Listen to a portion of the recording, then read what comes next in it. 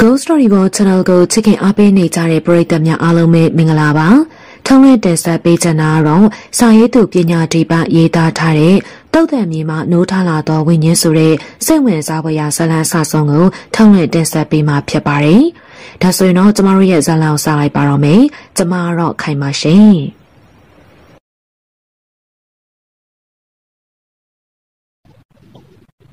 ရှေးနှစ်ပေါင်း100ကျော်ခန့်ကရန်ကုန်မြို့ရဲ့အနောက်ဘက်ကမ်းမှာရှိတဲ့နေရာတော်တော်များများမှာအခုမြင်တွေ့နေရတဲ့ကဲ့သို့လူနေထူထမ်းမှုမရှိဘဲနဲ့ကျေးရွာများအသွင်ဆောင်လက်လောက်လက်စားအလောက်ကျန်းသမားတွေတောင်စုဝေးနေထိုင်ကြတယ်။အခုလူနေစီကားပြီးတော့မျိုးပြတပ်ဖွဲ့ဖြစ်နေတဲ့ရန်ကုန်တစ်ဖက်ကမ်းမှာရှိတဲ့ဒလမာတော်မှာရွာငယ်အဆက်အရှိသေးတာ။ဒါပေမဲ့လည်းဒလမှာရှေးခေမျိုးဟောင်းတစ်ခုဖြစ်ခဲ့ပူပြီးတယ်။ ဒလဟူသည်မွန်ဘာသာအခေါ်အဝေါ်ဖြစ်ပြီးတော့အတန်အတွက်ဒုံတုံဇလဲရနေစံတန်လာခြင်းဖြစ်တယ်။ဒုံမှာမျိုးလိုအသေးပဲရပြီးတော့ဒုံဇလဲမှာစက်ခဝါလိုအသေးပဲရတယ်။အဲဒါကြောင့်ဒလရဲ့မူလအမည်ဟာမှာစက်ခဝါတွေပေါက်ရောက်ရာမျိုးလိုဖြစ်လေတယ်။မောင်ဒီတမိုင်းကျောင်းတစ်ခုမှာစက်ခဝိုင်းမင်းသမီးနေထိုင်ခဲ့ရမျိုးဟောင်းလေးဖြစ်တယ်။တွန်တေးတူများဖောက်လုပ်ခဲ့ပြီးတဲ့နောက်ပိုင်းမှာရန်ကုန်နဲ့တွန်တေးကြားမှာရှိတဲ့ကြေးရွာတွေလည်း ဖွံ့ဖြိုးလာခဲ့တာပေါ့။အဲ့ဒီထဲမှာစိတ်ကြီးခဏောင်တို့လည်းပါဝင်နေစိတ်ကြီးလိုအမိတွင်ခြင်းမှာခဏောင်တို့ချောင်းဝမှာလေတမန်တွေစိုက်ကပ်ဖို့အတွက်စိတ်ကန်းကောင်းကြီးတစ်ခုရှိတဲ့အတွက်ကြောင့်သာဖြစ်တယ်စိတ်ကြီးမှာအဲ့ဒီစိတ်ကန်းကိုအစွဲပြုတ်ပြီးတော့ခေါ်ဝေါ်ခြင်းဖြစ်တယ်လို့ခဏောင်တို့မှလည်းမွန်ပါတာဖြစ်တယ်ခနင်းအတန်အတွက်ခဏောင်ကနေစမ်းသပ်လာပြီးတော့အတိတ်ဘယ်မှာဝဲဩကားလို့အမည်ရတယ်စိတ်ကြီးရွာနဲ့ခဏောင်တို့ရွာတို့မှာရှေးဟောင်းရွာကြီးတွေဖြစ်ကြပြီးတော့ 1855ခုနှစ်ဝန်းကျင်ကရွှေကုံစီတော်ကိုဆဲလဲတွေကြေးအုပ်တွေလူရမှုပြုလုပ်ခဲ့ကြတဲ့ခနောင်တို့ချောင်းတခြားမှာလမှုပင်တမဲပင်ကပလာပင်တွေထူထပ်စွာပေါက်ရောက်ပြီးတော့ချောင်းဝပိုင်းလောက်မှာပဲရွာရန်လေးတွေရှိတာအဲ့ဒီရွာရန်လေးမှာနေထိုင်သူအများစုကတော့စန်းစားလုပ်သမားတစ္ဆာလုပ်သမားလုံးယုံအလုပ်သမားအများစုဖြစ်ကြတာတချို့ကမြစ်ချောင်းတွေအတွင်ကိုဆင်းပြီးတော့တာငါရှာခြင်း တချို့ကကြတော့လေရာသီအတွက်သီးနှံစိုက်ခင်းတွေရှိကြပြီးတော့တချို့ကကြတော့လေယာအလုပ်ကိုလုပ်ကိုင်းနေစေကြီးခနောင်တို့ရွာမှာနေထိုင်တဲ့အနေမှာမှာကရုခတ်ခြင်းအလုပ်ကိုလုပ်ပြီးမိဘနှစ်ပါးကိုလုပ်ကိုင်းကျွေးမွေးနေတဲ့သူသူကအသက်25နှစ်အရွယ်ခန့်ရှိပြီဖြစ်တော့လေအိမ်အောင်ရသားမပြုတ်သေးပဲနဲ့ပင်ပင်ပန်းပန်းလုပ်ကိုင်းရတဲ့ကရုတမန်ခတ်ပြီးတော့မိဘတွေကိုလုပ်ကိုင်းကျွေးမွေးနေရလေလေထိုးလွှတ်တိုက်လူမိုက်အလုံးတဲ့အဲလိုဆိုသောစကားတိုင်း လေတမန်ခက်ရတဲ့အလုပ်မှာတက်တုံးတွေကိုလွှတ်နဲ့လှည့်ဖြတ်ခွဲစိရတဲ့အလုပ်မှာတာမန်လူတွေမလုပ်နိုင်ကြဘဲနဲ့များစွာပင်ပန်းတဲ့အလုပ်ဖြစ်တယ်။နေမောင်အုံပြတဲ့တာမန်မှာလူချောင်းရောက်တဲ့ကုန်ပစ္စည်းတချို့တင်နိုင်လောက်အောင်လုပ်ကြည့်တယ်။မနက်စောစောချင်းရန်ကုန်ဘက်ကိုအလုပ်ဆင်းမဲ့သူဈေးရောင်းဈေးဝယ်သွားမဲ့သူတွေကိုလိုက်ပို့ပြီးတာမနက်10နာရီခန့်လောက်ဆိုရင်တော့အပြန်ခီးတဲ့တင်ရန်ကုန်ကနေစိတ်ကြီးခဏောင်တို့ပြန်ခဲ့တယ်။ကုန်ပစ္စည်းတင်ကားနေဆိုရင်တော့ တနေ့ကို၄၅ချက်ထိရတာပေါ့။ဒါပေမဲ့တနေ့တစ်ခေါက်ပို့ရတဲ့အလုပ်မှလွယ်တော့မလွယ်လာဘူး။တချို့တန်မှန်သမားတွေကမနက်ပိုင်းသွားပြန်ပို့ပေးပြရနဲ့ညနေပိုင်းကိုမသွားတော့ဘူးနေမောင်ကကြအဲ့လိုမဟုတ်ဘူးမနက်စောစောရွာအထွက်ရန်ကုန်ကိုမိုးလင်းတာနဲ့ရအောင်ပို့တယ်စွန်းခံပြန်ချိန်လောက်မှာရန်ကုန်ကနေပြန်ထွက်လာနေ့လယ်ဘက်မှာရွာကိုပြန်ရောက်တယ်အရေးတကြီးကြိုပို့စရာကိစ္စတွေရှိတယ်ဆိုရင်လေညနေပိုင်းချိန်မှာတစ်ခေါက်ပြန်ထွက်ရပါက ညဦးပိုင်းချိန်ရောက်တဲ့အခါမှာပဲရွာကိုပြန်ရောက်လိရှိတယ်တမန်ခတ်တဲ့အလုပ်မှာများစွာအားဆိုင်ရတဲ့အလုပ်ဖြစ်ပြီးတော့ပင်ပန်းလွန်လာတယ်။ရေစုံစင်းရလင်တိတ်ပြီးတော့အာမဆိုင်ရတော့လေရေစံကိုပြန်တက်မယ်ဆိုရင်တော့များစွာအားဆိုင်ရတယ်။ရေစည်းတန်နဲ့ရေထားရတွေရောက်ပြီဆိုရင်တော့ပိုဆိုးတာပေါ့။တခါတရံတမန်သမားတွေမှာဂျန်ဖူပွန်းတဲ့အတွက်လဝါနှစ်ဖက်လုံးပေါက်ပြဲထွက်လာတတ်တယ်လေ။ဒါပေမဲ့ဂရုတမန်သမားတွေဖို့နားခွင့်မရနိုင်ဘူး။ ရှေးခါကအခုကဲ့သို့တခြားတမန်တွေတိတ်မများလာပဲနဲ့လေးငါးစီးသာရှိလို့မိမိတန်မှန်စီးနေကြသူတွေအစဉ်ပြေစီအတွက်ပင်ပန်းတော်လည်းမနာကြပြီနေမောက်တန်မှန်ကိုစီးနေကြဖောက်တဲ့ရီမှာခင်မေရီလည်းတယောက်ပါတာပေါ့ခင်မေရီမှာအသက်20အရွယ်ခန့်ရှိပြီးရုပ်ရည်တနာကမရှိကမာနာကြီးတဲ့မိန်းကလေးတယောက်စိတ်ကြီးခဏတို့ရွာထဲမှာဈေးဆိုင်ရှိပြီးတော့ရန်ကုန်ကမနက်တိုင်းဈေးဝယ်သွားလေရှိတယ် အဲ့ဒီနေ့မနက်စောစောကခင်မေရီထားနေဘဲဦးကျဲဦးထည့်ထားတဲ့တောင်းနှလုံးသုံးလုံးပါတဲ့အတွက်မိမကိုယ်တိုင်တာမန်နဲ့ကိုထမ်းပြီးတော့ချပြီးမိမောင်ဟမ်ဘာလဲဒီနေ့တော့တခြားသူတွေမစောင့်နေတော့ဟာငါပစ္စည်းတွေကိုကီလိုစောစောရောက်မှဖြစ်မှာမလို့စောစောသာထွက်ပြီးတော့တာမန်ကကြသမျှငါပြီးမယ်သိလားအဲလိုပြောတဲ့အတွက်ညီမမှာတခြားခီးတဲ့တွေကိုစောင့်ကြံတော့လဲမစောင့်တာတော့ဘဲနဲ့ခင်မီရီတယောက်တည်းဟိုသာတင်ပြီးတော့တာမန်ထွက်ခဲ့ရတယ်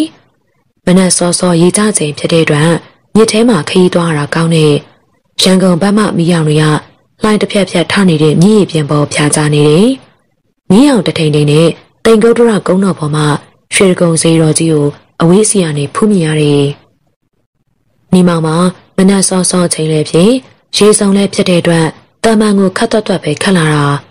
တိတ်ဆိတ်နေတဲ့မြစ်ပြင်ပေါ်မှာတော့၎င်းရဲ့ခက်ကွဲမှမြေတံတွေကကျဲလောင်စွာနဲ့ပြန့်နှံ့နေလေတော့တယ်။ ညီမောင်ဟမ်ဘာလဲတနေ့တနေ့တာမန်ခတ်နေရတာနင်မပင်မအောင်လားယင်ပင်မတော့ရောငါတို့မှတခြားလုံးမှမရှိတာဟာမလုပ်ချင်လို့ရပါမလားတခြားသက်သာတဲ့အလုပ်တွေရှိပါတယ်ဟဲ့တခြားအရောက်ဝင်လုပ်တာမျိုးပေါ့ဟာငါအဲ့လိုအလုပ်မျိုးတွေမကြမ်းကြက်ပါဘူးလေကိုမကြွချင်တဲ့အလုပ်ကိုလုပ်ရင်စိတ်ပင်ပန်းလူပင်ပန်းဖြစ်ရမှာပေါ့အခုလောက်ကလူပဲပင်ပန်းတာစိတ်မပင်ပန်းလာဘူးလေဒါပေမဲ့နင်ဘယ်ကြည့်ပါမှမလဲဟဲ့ ကြည့်ပွားတယ်ဆိုတာကကိုကြည်ပွားချင်တိုင်းကြည်ပွားလို့ရတာမျိုးမှမဟုတ်တာဘဝပေးကံပါလာရင်တနေ့တော့အခွင့်အလမ်းရလာမှာပေါ့လေအရေးကြီးတာကကိုလုံးနေတဲ့အလုပ်ကိုတန်မိုးထားပြီးတော့ကြိုးစိုးစားစားလုပ်ဖို့ပဲအရေးကြီးတယ်အဲ့ဒီစကားကြောင့်ခင်မေရီကတစ်ချက်ပြောလိုက်တယ်သို့တော့တာမန်ဥပတ်တို့မျက်နှာမူထားတဲ့အတွက်နီမောင်ကတော့မမြင်လိုက်ရပြီနီမောင်ငါဈေးအောင်ဈေးဝယ်ပြီးတာနဲ့ရေတက်ထာနဲ့ရွာအောင်ပြင်အောင်နော်နေစောင့်နေအောင်သိလားအေးပါ ငါတာမန်စိတ်ကနေပဲစောင့်နေပါမယ်မှန်မှန်လေးခတ်လာတဲ့တန်မှန်လေးဟာမကြမီကေလီစိတ်ကန်းကိုစိုက်ကပ်သွားလိတော့တယ်။အဲ့ဒီနေရာကိုရောက်ရင်တော့ရောင်းနေကြဘဲဥတိုင်းမှာကလားလုတ်သမားတွေဆင်းလာပြီးဘဲဥကျဲဥတောင်းတွေကိုထမ်းပြီးတော့တင်သွားရာ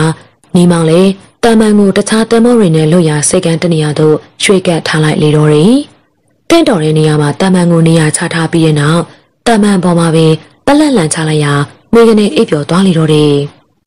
အချိန်ဘလောက်ကြာအိပ်ပျော်သွားလဲမသိဘူး။မျက်နှာပေါ်ကိုနေအောင်ကြီးကျလာတော့မှပြန်လို့လာတယ်။ရေးကြပြီဖြစ်တဲ့အတွက်ကြောင့်တမန်ကတောင်ပေါ်မှာတင်ချန်ခဲ့တဲ့စိတ်ကန်းတဝိုင်းမှာတော့နောက်ထပ်ရောက်လာတဲ့တင်မော်တွေလေတမန်တွေပေါ်ကနေကုန်ပစ္စည်းတွေတင်နေကြတဲ့အလုပ်သမားအတန်ကစူညံနေတာမြစ်ထဲမှာရေရတော့ရေပြန်တက်စာပြူနေပြီ။မိမောင်ကတမန်ကျိုးကိုဖြုတ်တမန်ကိုဘောင်ပေါ်မှရေထဲကိုတွန်းချဘောဒရစိတ်ကန်းတစ်ခုမှစိုက်ကပ်ထားလိုက်တယ်။ ခဏကြာတော့ခင်မီရီပြန်ဆက်လာတယ်။သူမနဲ့တူထုံးစော်ကလည်းပါလာတယ်။ထုံးစော်ဆိုတာတခြားမဟုတ်ဘူး။စိတ်ကြီးခဏတို့ရွာအစွန်ချောင်းကန်တပိမှာရှိတဲ့စိတ်ဓာတ်ဒုက္ခဆန်းဆန်းမှာမေတန်တီစံဖြတ်သူတယောက်ဖြစ်တယ်။သူရဲ့မိဘတွေမှာဆန်ဆက်ပိုင်ရှင်ကလာတတိယကိုယ်စလဲခံထားပြီးတော့ဆန်ဆက်ဝင်းထဲမှာပဲအိမ်ဆောင်ပေးထားတယ်။ထုံးစော်မှာအသက်23နှစ်အရွယ်ခန့်ရှိပြီးနှကမ်းမွေးဆဆနဲ့မိမကိစ္စရှုပ်ပွေသူတယောက် ဆန်ဆက်တလုံးမှာဆန်ဖျားတဲ့မိသမားတွေမှာများစွာဝင်ငွေကောင်းတဲ့သူတွေဖြစ်တယ်။စံဆိုရင်လည်းရတယ်လို့စပားလာကြိတ်တဲ့သူတွေကစံကောင်းရစီရင်တော်၎င်းစံထွက်ပူစီရင်တော်၎င်းငွေကြေးတော်၎င်းစံအိတ်တော်၎င်းလက်ထိုးကြတာပေါ့။ထုံးစော်မှာအလောက်ကိုင်းကလည်းရှိငွေကြေးရလည်းအတန်အသင့်ရှိတရားတကြောင်အပျော်ပါလည်းလိုက်စားတဲ့အတွက်စံဆက်မှာစပားလာထမ်းတဲ့မိမပြုတ်လေးတွေမှာသူနဲ့လွတ်ကင်းလာတယ်လို့မရှိဘူး။ဒါအပြင် ရွာထဲမှာဆင်းရဲနှံပါတဲ့မိသားစုတွေထံမှအမျိုးသမီးလေးတွေကိုလိုချင်ရင်တော့စံအိတ်ပိုတနာပို့ငွေကြေးထောက်ပံ့တဲ့နနာထောက်ပံ့ပြီးတော့ရအောင်ယူလေးရှိတယ်။ဒါပေမဲ့အတီးယူခြင်းမျိုးတော့မရှိဘူးနော်။ရွာထဲမှာထုံးစော်ချင်းကမ်းမရတဲ့မိန်းကလေးကခင်မေရီသာရှိတယ်။ခင်မေရီကတော့ထုံးစော်ကိုပုံမှန်ပဲဆက်ဆံလေးရှိတာပေါ့။မျက်နှာတာတော့မပေးဘူး။အခုလေခင်မေရီအထုပ်ပိုးတွေကိုထုံးစော်ကကိုဆွဲလာတဲ့အတွက်မိမောင်ကသွားမကြတော့ဘူး။ နင်းနဲ့တွေ့တာတော့ပဲဆက်ပစ္စည်းဝယ်ဖို့မနေ့ကလေးကရန်ကုန်ရောက်နေရမြင်မသူနဲ့လာတာလေ။မိမောက်တံမန်နဲ့လာတာတယောက်တည်းလာတာလားอืมဟုတ်တယ်စက်လုံးကလာလေတဲလဲတက်တီကောင်းပါလားဟဲ့ထုံးစော်ကပေပိုင်းမှာထိုင်နေတဲ့နေမောင်ရှိရတို့တစ်ချက်လှမ်းကြည့်ပြီးတော့မကြားတကြားပြောတမန်လေးကိုဆင်းလာတယ်နေမောင်ကကြားလိုက်ပေမဲ့လို့ဘာမှပြန်မပြောတော့ဘူးအဲ့ဒီနောက်နှစ်ယောက်စလုံးတမန်ပေါ်တက်လာတယ် နေမောင်ကတမန်ကျိုးကိုဖြတ်ပြီးတော့ထွက်ရန်ပြင်ဆင်နေစင်ပါပဲတရားပေါ်မှာအဖိုးကြီးတယောက်တုံချီချင်းနဲ့ဆန်းလာတယ်။မိမောင်ကလည်းတမန်ထွက်ခံနေတော့မှအဖိုးကြီးဆန်းလာတာကိုလှမ်းမြင်တဲ့အတွက်ခဏရပ်ထားလိုက်တယ်။ထွက်တော့လေနေမောင်မင်းဘသူ့ကိုစောင့်နေရလေခဏလေးပါဟိုမှာအဖိုးကြီးတယောက်ဆန်းလာနေလို့မင်းရလေကွာအလုရှုပ်တော့မှာပဲတာမန်ထွက်မှသာထွက်စမ်းပါထုံးစော်ကမစီမဆိုင်ဝင်ပြောတယ် ပြောနေရင်နေပင်အဖိုးကြီးကတာမန်နာကိုရောက်လာတယ်အဘဘယ်သွားမှလဲစိတ်ကြီးခဏောင်တို့ဘက်ကိုလိုက်ချင်လို့ပါခွေလူကလေးတာမန်အဲ့ဒီဘက်များရောက်မလားလို့ပါရောက်ပါရဲ့အဘရဲ့ဒီတာမန်ကကရုတာမန်ပါပဲကဲဒီလိုဖြစ်လေအဘတယောက်တော့လိုက်ခဲ့ပါရစေခွေလိုက်ခဲ့ပါအဘဒီနေ့လူချမာတယ်အဲလိုညီမောင်ကပြောတဲ့အတွက်အဖိုးကြီးကတာမန်ပေါ်တက်လာတယ်အဲ့ဒီခါကျမှပဲ တာမန်ကိုကန်းကနေခွာတယ်အဖိုးမှာအသက်60အကျော်အရွယ်ခန့်ရှိပြီးတော့ဆွတ်ဆွတ်ဖြူနေတဲ့သပင်အနေငယ်ကိုထိပ်ပေါ်မှာထုံထားတယ်ဖြူနေပြီဖြစ်တဲ့မုတ်စိတ်မွေးနှကမ်းမွေးတွေကလည်းရှည်လျားစာရှိနေတာပေါ့ကိုပေါ်မှာမေးမိန်နေပြီဖြစ်တဲ့အညူရောင်ရင်ပုံအင်ဂျင်နဲ့ပစိုးကိုဝစ်စိလွယ်အိမ်ဟောင်းတစ်လုံးနဲ့တောင်ဝေတစ်ချောင်းသာပါတယ်ရန်ကုန်မြစ်တစ်ဖက်ကန်းကိုဖြတ်ကူးလာတဲ့တမန်ဟာမီးပြကြော်လာတဲ့အခါဓနိပင်နဲ့လမှုပင်တွေရှိတဲ့ကန်းစက်ကနေကပ်ပြီးတော့မှန်မှန်မင်ခလာတယ် ခင်မေရီနဲ့ဇော်ထွန်းတို့ကတမန်ဥပမာထိုင်ဆိုင်ရင်းနဲ့စကားပြောလာကြတာအဖိုးကတော့တမန်ဝမ်းလေမှာညီသက်စွာနဲ့ထိုင်လိုက်လာလေတယ်ခဏကြာတော့ထုံစောကသူဝယ်လာတဲ့လက်ဖက်ရည်နဲ့မုံတွေကိုတရားတရားထက်တန်စွာနဲ့ခင်မေရီကိုကျွေးမွေးတယ်စားပါခင်မေရီရဲ့လမ်းရောက်ရင်စားဖို့ဆိုပြီးတော့တကူတကဝယ်လာတာဟမ်ငါဘိုက်ပြင်းနေလို့မစားတော့ဘူးနေရလဲဟာဝယ်လာတဲ့သူကျင်းနေအောင်နည်းနည်းပပတော့စားပါဟာ အိုးမစားချင်ပါဘူးဆိုနေမှခင်မေရီကလေးသားမမနဲ့ပြောလိုက်ရာထုံးစော်မှာလက်တွန့်သွားလေတယ်အဲရိကတမန်အနောက်ဘက်မှာထိုင်နေတဲ့အဖိုးကြီးကလှမ်းပြောတယ်ငါမြည်ရဲ့မင်းမစားစရာအပိုးလေးများပိုင်အဖောက်တစ်ခုလောက်ပေးပါခရီးဝေးရလာကြရလို့ဘာမှမစားခဲ့ရသေးလို့ပါကွယ်အဲ့ဒီစကားကြောင့်ထုံးစော်မှာမျက်နှာတစ်ချက်ပြတ်သွားပြီးတော့အပေါ်မပါဘူးဗျကျုပ်တို့စားဖို့ပဲပါတာ ငါ့ကိုကြွေးမဲ့စားအဲ့ဒီဘောက်ပဲပေးလိုက်ပါလားဟာအိုးကိုစားဖို့ဝယ်လာတာဘာဖြစ်လို့ကြွေးရမှာလဲနေမစားချင်နေငါ့ဘာသာငါစားမှာပေါ့ဟာအဲ့လိုပြောပြီးတော့မုံတဲ့လက်ဖက်ရည်ကိုမစံမပြဲအတဲစားတောင်းလျာရုတ်တရက်တီးသွားတဲ့အတွက်ပါဇက်ထဲရောက်နေတဲ့အစားအသောက်တွေခြေထဲကိုထွေးချလိုက်ရလေတော့တယ်။ဒီတရောင်းစားကြီးဝင်ရှုပ်တာနဲ့ဒီမှာကောင်းကောင်းမစားလိုက်ရဘူး။သူများငှားတဲ့တမ်းမမောအလကားလိုက်လာရင်လေအေးအေးလိုက်လာတာမဟုတ်ဘူး။ အဘမင်းမပူနေတယ်မှတ်လို့တောင်းမိတာပါကွယ်။မင်းစေတနာမရှိမှန်းသိရင်တော့အစကတည်းကမတောင်းပါဘူး။အဖိုးရဲ့စကားကိုသဘောကျတဲ့အတွက်ခင်မေရီကခက်ခနဲ့တစ်ချက်ရေးလိုက်ပြီးထုံးစော်မှာရှက်သွားတယ်။ခမရတမန်ပေါ်လေလိုက်လာသေးတယ်။လူလည်းမဟုတ်တာပြောသေးတယ်။ထုံးစော်ကြောင့်တည်ရောပေါ့။အဲလိုပြောပြီးနေရာမစက္ကနေထားရပြီးအဖိုးကိုရှီယာကိုလာရန်ဟန်ပြန်လိုက်တာနဲ့ တစုံတယောက်ကတွန်းချလိုက်ဟန်နဲ့ခြေထဲကိုဝုန်းကနေပြုတ်ကျသွားလေတော့တယ်။အမလေးလောက်ကြပါအောင်ကဲကြပါအောင်ငါရေးတိတ်မခုတတ်ဘူးဟာအမျက်ဆဲကြပါအဲလိုပြောတဲ့အတွက်ညီမောင်က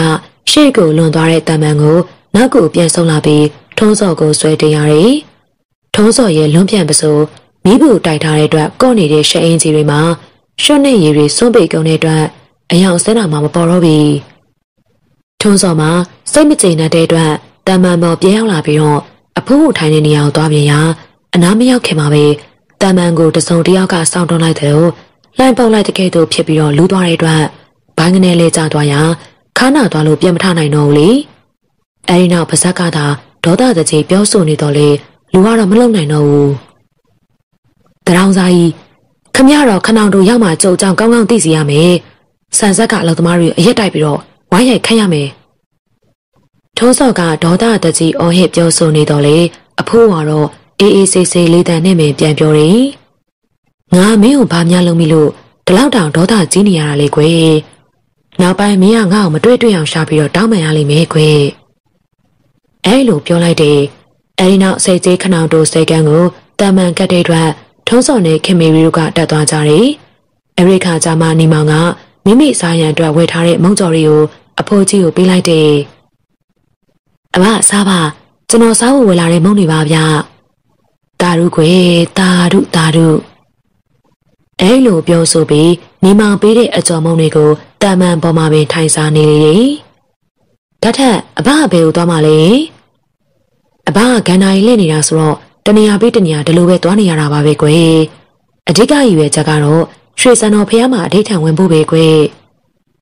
ရွှေစံတော်ဖះကတွန်တေးမှာဆိုတော့ဒီကနေအတော်ဝေးသေးတာပဲနော်ခရီးဆိုတာတွားတတ်ရင်ဝေးလာတယ်မဟုတ်ပါဘူးကွယ်အကျိုးရှိအောင်တွားတတ်ဖို့ပဲထထအဘကတွန်တေးရွှေစံတော်အထီတွေမယ်လာရင်တခြားနေရာတွေရောတွားအောင်မလားတွားရတာပေါ့ကွယ်အဘကစံတော်တက်ကိန်းနဲ့ဇေဒီကိုးစုမှာအဋိဌံလှည့်ဝင်တာဆိုတော့နေရာနဲ့တွားရတာပဲပေါ့လူလေးစံတော်တက်ကိန်းနဲ့ဇေဒီကိုးစုဆိုတာဘာတွေလဲဗျ ကျွန်တော်ပြောပြပါလားယင်စံတော်တက်ကိန်းနဲ့ဇေဒီကိုးစုဆိုတာကျစ်ရွှေတကုံဇေဒီတော်နှစ်မော်တင်စုံဇေဒီတော်သုံးကြိုက်ထီယိုဇေဒီတော်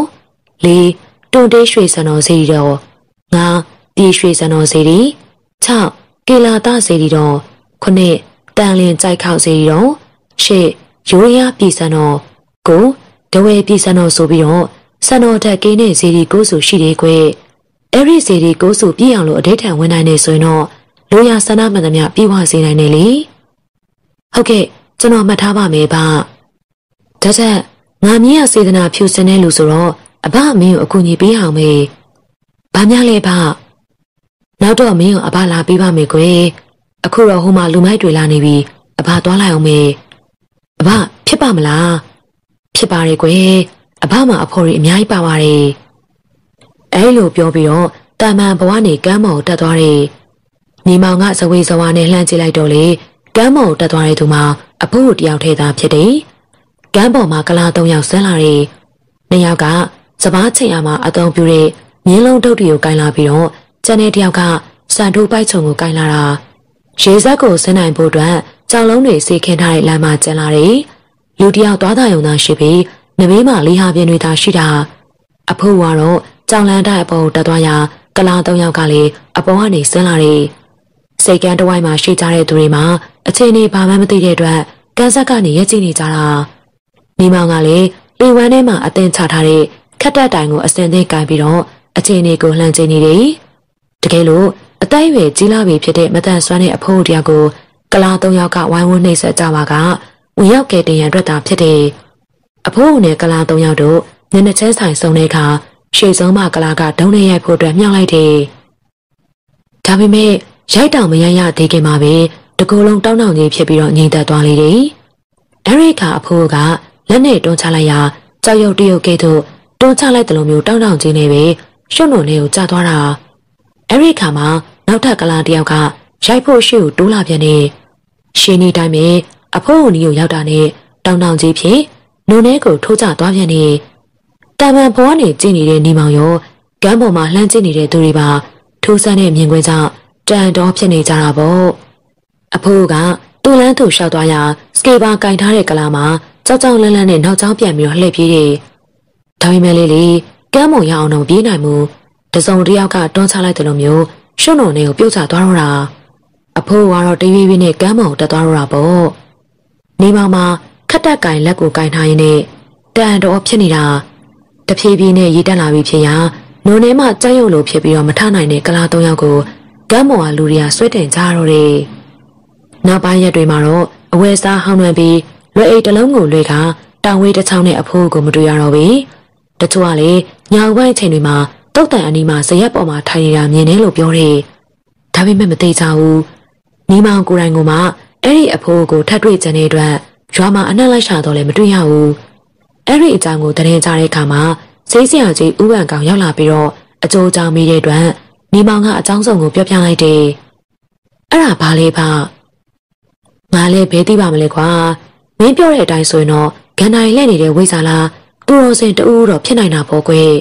။ဝိဇာဆိုတာဘယ်လိုမျိုးလဲဖ။ဇပွဲထဲမှာတွေ့ရတဲ့စေးတောင်ဝေးကင်ထားတဲ့စောကြီးလိုဟာမျိုးလား။ပြီးတော့အဖိုးရဲ့အဝိဇာတွေကစောကြီးနဲ့မတူပါဘူးလေ။ဒါပေမဲ့ သူ့လက်ထဲမှာတောင်ဝေးတစ်ချောင်းတော့ပါတယ်ဗျ။ဝိဇာတို့သူတော်စင်တို့ဆိုတာတာမန်မသိနိုင်ဘူး။သူတို့ကြည့်လဲစုပ်စုပ်ပြပြနဲ့အယူလိုလိုတရောင်းစားလိုလိုနဲ့တစက်လေးမှအထင်ကြီးစရာမရှိဘူးအဲ့ဒါကိုမသိပဲသွားပြီးစော်ကားမိရင်တော့ဒုက္ခရောက်ပြီးသားမှတ်ပြီးရောဟေးဟုတ်တယ်ဗျဟိုတနေ့ကသူ့ကိုရံပြိုးဖို့စူးစမ်းတဲ့ကလားသုံးအောင်စလုံးလေအခုချိန်ဒီအိယာတွေကမထနိုင်ကြသေးဘူးလို့ပြောတယ်อืมဝိစာပဲဖြစ်ဖြစ်ဂန်နိုင်လက်နေတဲ့သူတော်ကောင်းပဲဖြစ်ဖြစ်တွေးဖို့မလွယ်တယ်လို့ တွေးရင်လေကိုယ့်အသိပညာလေးတထွားတမိုင်းလောက်နဲ့ဘယ်လို့မှမသိနိုင်ဘူးလမ်းမှာတွေ့တဲ့တရောင်းစားပဲဖြစ်ဖြစ် ကိုနဲ့တွေ့လို့ပေးနေတာရှိရင်ပေးလိုက်ကျွေးနိုင်တာရှိရင်စေတနာတန်တန်နဲ့ကျွေးလိုက်ဘလို့လူမျိုးပဲဖြစ်ဖြစ်အเจ้าပဲမစော်ကားတာတော့အကောင်းဆုံးပေါ့အဲလိုဆိုပြီးတော့ဥပန်ကောင်ကပြောပြလေးတယ်ဥပန်ကောင်ပြောသွားတဲ့အတိုင်းပဲတာမန်ပေါ်မှာအမတ်မထင်တွေ့ရတဲ့အဖိုးတုပ်ကိုအเจ้าမဲ့ရန်ရှာခြင်းနဲ့ထုံးစော်နဲ့ကလာတုံရောက်ဒုက္ခတွေ့ကြရတာပေါ့ကလာတုံရောက်တို့မှာ ခြေနဲ့လက်တွေကိုေးကောက်နေတဲ့အတွက်အခုထိအိမ်ရာတွေကနေမထနိုင်သေးဘူးအဆိုးဆုံးကတော့ထုံးစော်ပေါ့အလောက်ကနေပြန်လာထမင်းဆာဆာနဲ့ထမင်းဝိုင်းဝင်ပြီးတော့စားတောင်းရဟန်ပြလိုက်နှာခေါင်းထဲမှာအနံတမျိုးဝင်လာတာနဲ့ထမင်းပကံကိုငုံနှမ်းလိုက်တယ်ထမင်းတွေမှာစားမရအောင်တိုးနေတာစိတ်ထဲမှာမတင်ကားတဲ့အတွက်ဟိဘကံကိုနမ်းကြည့်ပြန်တော့လေချက်ထားတာရက်ကြနေတဲ့ဟန်နဲ့ချင်စော်ပုတ်စော်နမ်းနေတယ်မေမေ ဟဲ့ထုံးစောဘာတော့အမေချက်ထားတဲ့ထမင်းနဲ့ဟင်းနေရလေအားလုံးတိုးနေတာကျွန်တော်ဘယ်လိုလုပ်စားရမှာလဲဗျာဟဲမဟုတ်တာဟဲငါမနေ့ကမှချက်ထားတာဘယ်လိုလုပ်တိုးမလဲဟဲ့အမေအမေဟင်းနေအမေပဲနမ်းကြည့်ပါအောင်ဗျာအဲလိုပြောတဲ့အတွက်ဒေါငွေစားကငုံပြီးတော့နမ်းကြည့်တယ်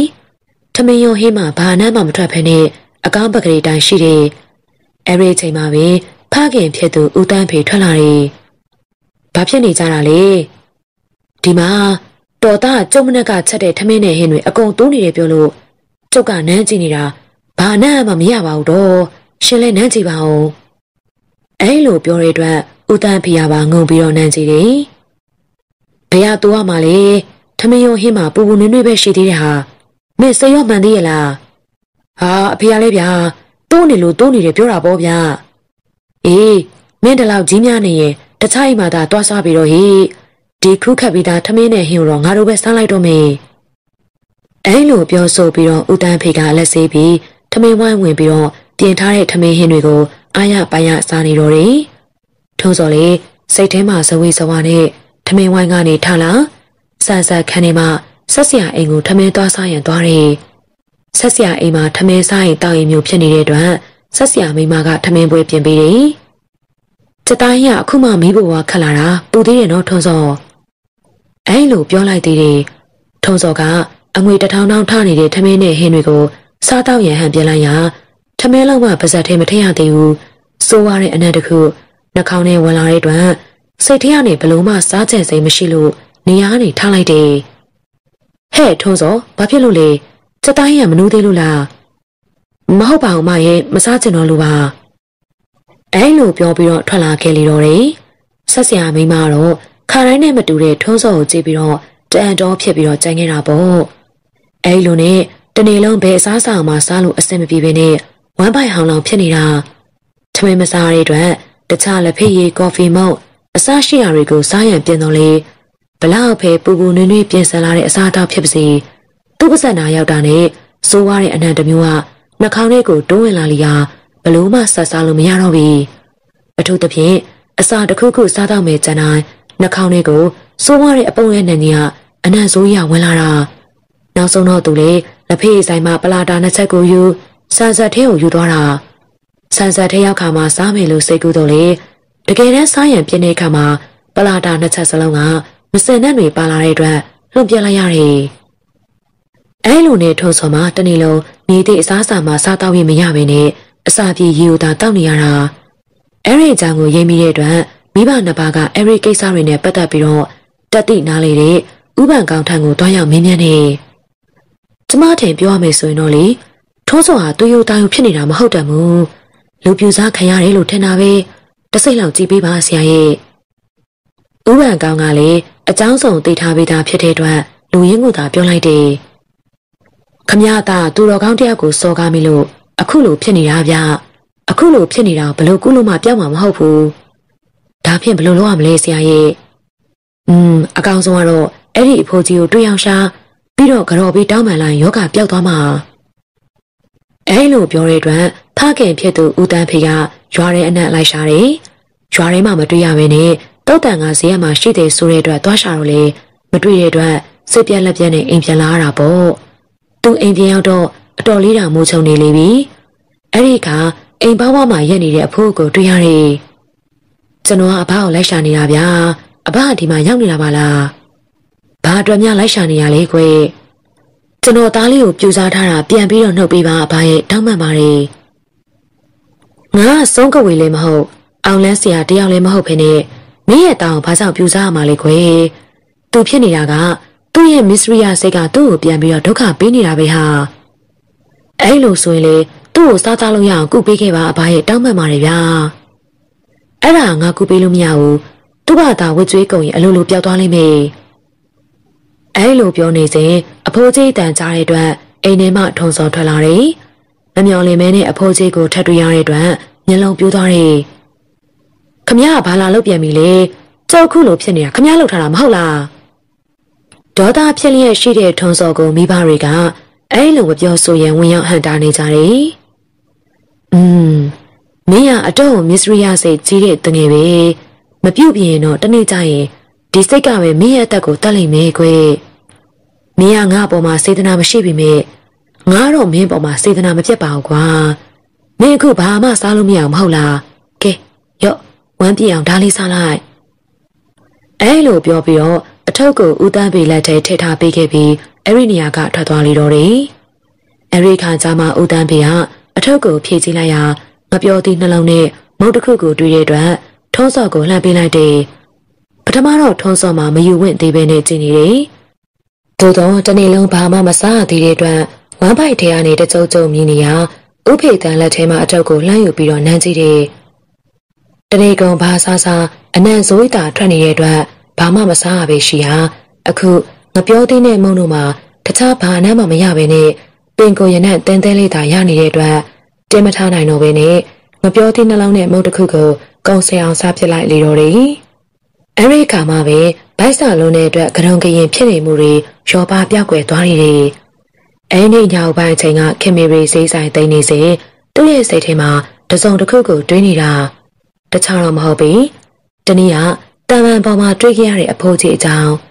အဖိုးကြီးနဲ့တွေ့ပြီးရနောက်ပိုင်းထုံးစော်တယောက်ဘာမှမစားနိုင်မနဲ့ဒုက္ခရောက်နေတာအဲ့ဒီတဲ့ုံလေးကြားရတယ်လေ။ခင်မေရီတို့ကမိသားစုများတဲ့အမေအဖေပြင်ညီကိုမောင်သမား9ယောက်ရှိတယ်။ဖခင်ကျမ်းမာရေးကောင်းတော့လေမိခင်ဖြစ်သူဟာနာတာရှိယောဂတဲ့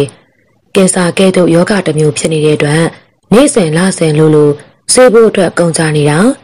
တခြားမိသားစုတွေကအရွယ်မရောက်သေးကြတဲ့အတွက်အိမ်တောင်ဝင်တဲ့မိခင်ဆေးကုသရန်စရိတ်ကိုတော့ ခင်မီရီယာပဲတိုင်ခံရှာပေးနေရတာလေအဲဒါကြောင့်ဈေးရောက်တဲ့အလုပ်ပြင်တခြားမှလာရောက်ရောင်းချတဲ့ငါးပစွန်ဘဲဥကျုပ်ဒါရီယိုပါကောက်ယူပြီးတော့ရန်ကုန်ကိုနေ့စဉ်သွားပြီးတော့ရောင်းချနေရခြင်းဖြစ်ပေတယ်အဲ့ဒီနေ့ကစိုက်သိန်းနေရင်မှပဲတမန်ပေါ်မှာအမတ်ပထင်တွေ့လိုက်တဲ့အဖိုးကိုသတိသွားရတယ်။သူမဆိုင်မှာရင်းနှံစီမီးအိမ်နှလုံးထွန်းရမီးအောင်ကလမ်းမပေါ်ထိရောက်နေတယ်။ခင်မေရီတို့အိမ်မှာချောင်းဘက်ကိုကြောပေးထားပြီးတော့ လမ်းမဘက်ကိုမျက်နှာမူထားကဈေးဆိုင်ကလမ်းမဘက်လှည့်ထားပြီးကျုပ်ဘဲဥကောက်တဲ့ဆိုင်ကချောင်းဘက်ကိုလှည့်ထားတာအဲ့ဒီခိုင်မှာပဲတစ်ဖြက်ဖြက်နဲ့ခြေတန်းကြလို့ဈေးဝယ်လာသူအထင်နဲ့လှမ်းကြည့်လိုက်ရာလမ်းမပေါ်မှာရှောက်လာတဲ့လူတယောက်တခြားမဟုတ်ဘူးဟိုတနေ့ကတန်မန်ပေါ်မှာတွေ့ခဲ့ရတဲ့အဖိုးအိုအဖိုးကဒီဇိုင်းမန်မန်နဲ့ရှောက်လာရာဆိုင်ရှိကိုရောက်လာတယ်ခင်မေရီတန်တော့ဖြစ်သွားမိတာပေါ့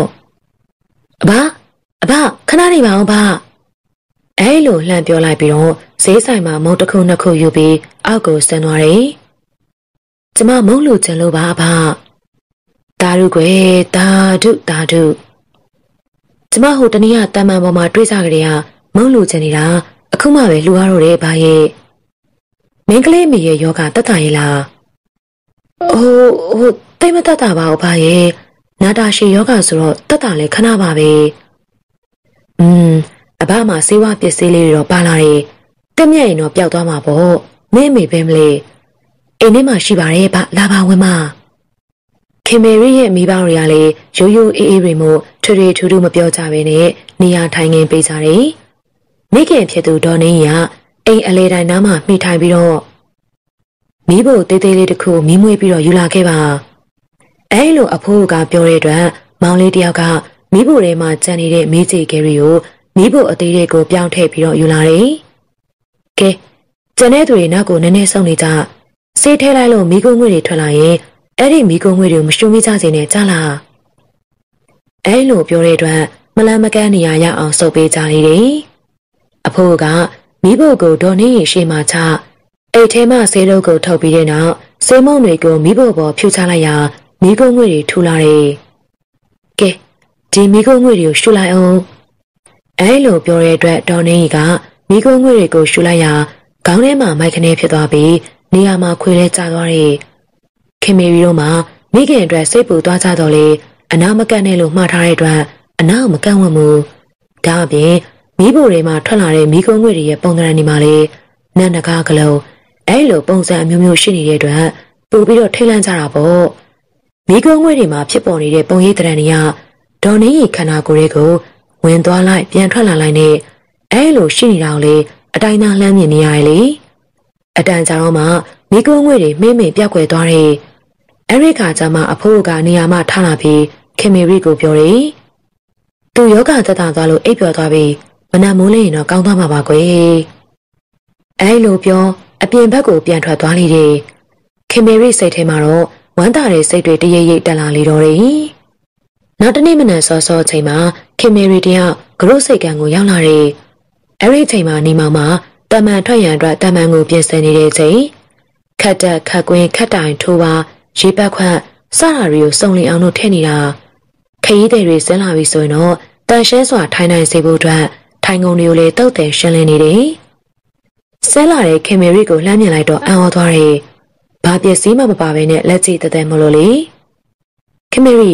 နေတော့မလို့လားပစ္စည်းတွေရောဘယ်မလဲ ငါရန်ကုန်ကိုမသွားသေးဘူးနင်းနဲ့တွေ့ကြလို့ဆန်းလာတာဟမ်ဘာကိစ္စရှိလို့လဲဟာကဲခဏလောက်တက်ခဲ့ပါအပေါ်ရောက်တော့မှငါအကျိုးအကြောင်းကိုပြောပြပါမယ်။ဘာများလဲဟာ။ညအဖားရောက်လာပြီးတော့စိတ်ကုပြီးသွားတာငါမိယောဂပျောက်သွားပြီဟာ။အဲ့ဒါနင်းကိုကျေးဇူးတင်လို့ငါလာပြောတာသိလား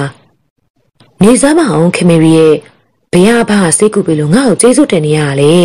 ။နေတနည်းကတန်မမောတင်ခေါ်လာတဲ့အဖိုးကိုပြောတာ။ သူညာတော့ငါ့ရုံရောက်လာတဲ့ဟာသိလား။အဲလိုဆိုပြီးတော့ခင်မေရီကအကျိုးအကြောင်းကိုပြောပြလိုက်လေတော့တယ်။အေးဟာနေမေယောဂပြောက်သွားတာငါဝမ်းသာပါတယ်။ဒါထက်ငါအဲ့ဒီဘောက်တွေ့ချင်တဲ့နီမောင်သူ့ဘယ်မှာရှိမလဲ။အဲ့ဒါငါလည်းမသိဘူးဟာ။ဒီရက်ထဲမှာတော့ရွာထဲမှာမတွေ့မိဘူး။อืมသူပြောတော့တွန်တေးရွှေစံတော့သွားပြီးတော့အထိတ်ထန်ဝင်မယ်လို့ပြောသွားတာ။အဲ့ဒီကိုသွားတာဖြစ်မှာပေါ့ဟာ။ဟာနေရလည်းမဟုတ်တာ။ ခဏတုံနဲ့တွန်တေးကအဝေးကြီးဘယ်လိုသွားမလဲ။သူသွားချင်ရင်သွားနိုင်မှာပေါ့ငါလည်းဘယ်သိပါမလဲ။အေးပါတကယ်လို့နေနဲ့တွေ့ရင်ငါ့ကိုလာပြောပါဟာငါကျေးဇူးဆက်ချင်လို့မိမောင်ကခေါင်းငိတ်ပြလိုက်လေတော့တယ်။နင်ဒီနေ့ရန်ကုန်ဘက်ကိုသွားအောင်မလား။ဟမ်ဒီနေ့မသွားတော့ဘူး။အမေနေကောင်းလာတာကြည့်ပြီးတော့ဝမ်းသာနေရနဲ့ဘာမှမလုပ်တော့သေးဘူးဟာ။နောက်နေ့မှပဲငါသွားတော့မယ်သိလား။အဲလိုဝမ်းပန်းတတာပြောဆိုပြီးတော့ပြန်သွားလေတော့တယ်။ မိမောင်လည်းတခြားခီးတဲ့တွေကိုတဲဆောင်ပြီးတာမန်ထွက်လာခဲ့တယ်။အဲဒီနေ့ညညနေပိုင်းအိမ်ပြန်ရောက်တဲ့အခါအံ့ဩဖွယ်ရာမြင်ကွင်းကိုတွေ့ရတယ်။လွယ်အိတ်ကြီးတစ်လုံးကိုလွင်တောင်ဝေးတစ်ချောင်းနဲ့ရွာဆန်အနဲ့ရှောက်သွားနေတဲ့အဖိုးကိုသူနေတဲ့အိမ်ကိုရောက်နေနေလေပြီမိမမိဘတွေကစာကောင်းတောက်ဖွယ်တွေနဲ့ကျွေးမွေးဧကန်တာမင်းလာအောင်စောင့်နေမယ်ဆိုလို့အစားတောက်တွေနဲ့ကျွေးမွေးထားတာပါမိမောင်က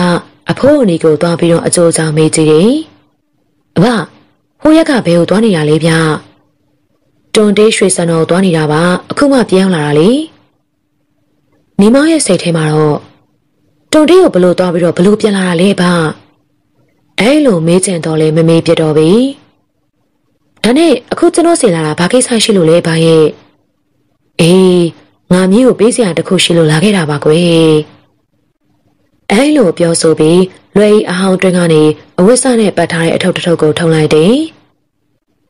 အဘအဒိဋ္ဌံဝင်ရမယ့်ကိစ္စပြီးသွားပြီဆိုတော့ဒီနေရာနဲ့တခြားနေရာခီးဆက်ရအောင်မယ်လေဘယ်ရောက်လို့ဘယ်ပေါက်မှမသိရသေးတော့နောက်ထပ်တွေးကြဖို့ဆိုတာတော့ကျင်းသေးပြောလို့မရဘူးကွယ်ဒါကြောင့်ငါမျိုးကိုကိုကြီးဆောက်ရှောက်ချင်တာနဲ့ဒီကိုတမင်းကိုလာခဲ့တာဗျာကျွန်တော်ကိုကိုကြီးဆောက်ရှောက်ချင်လို့ဟုတ်လားဗျဟုတ်ပါတယ်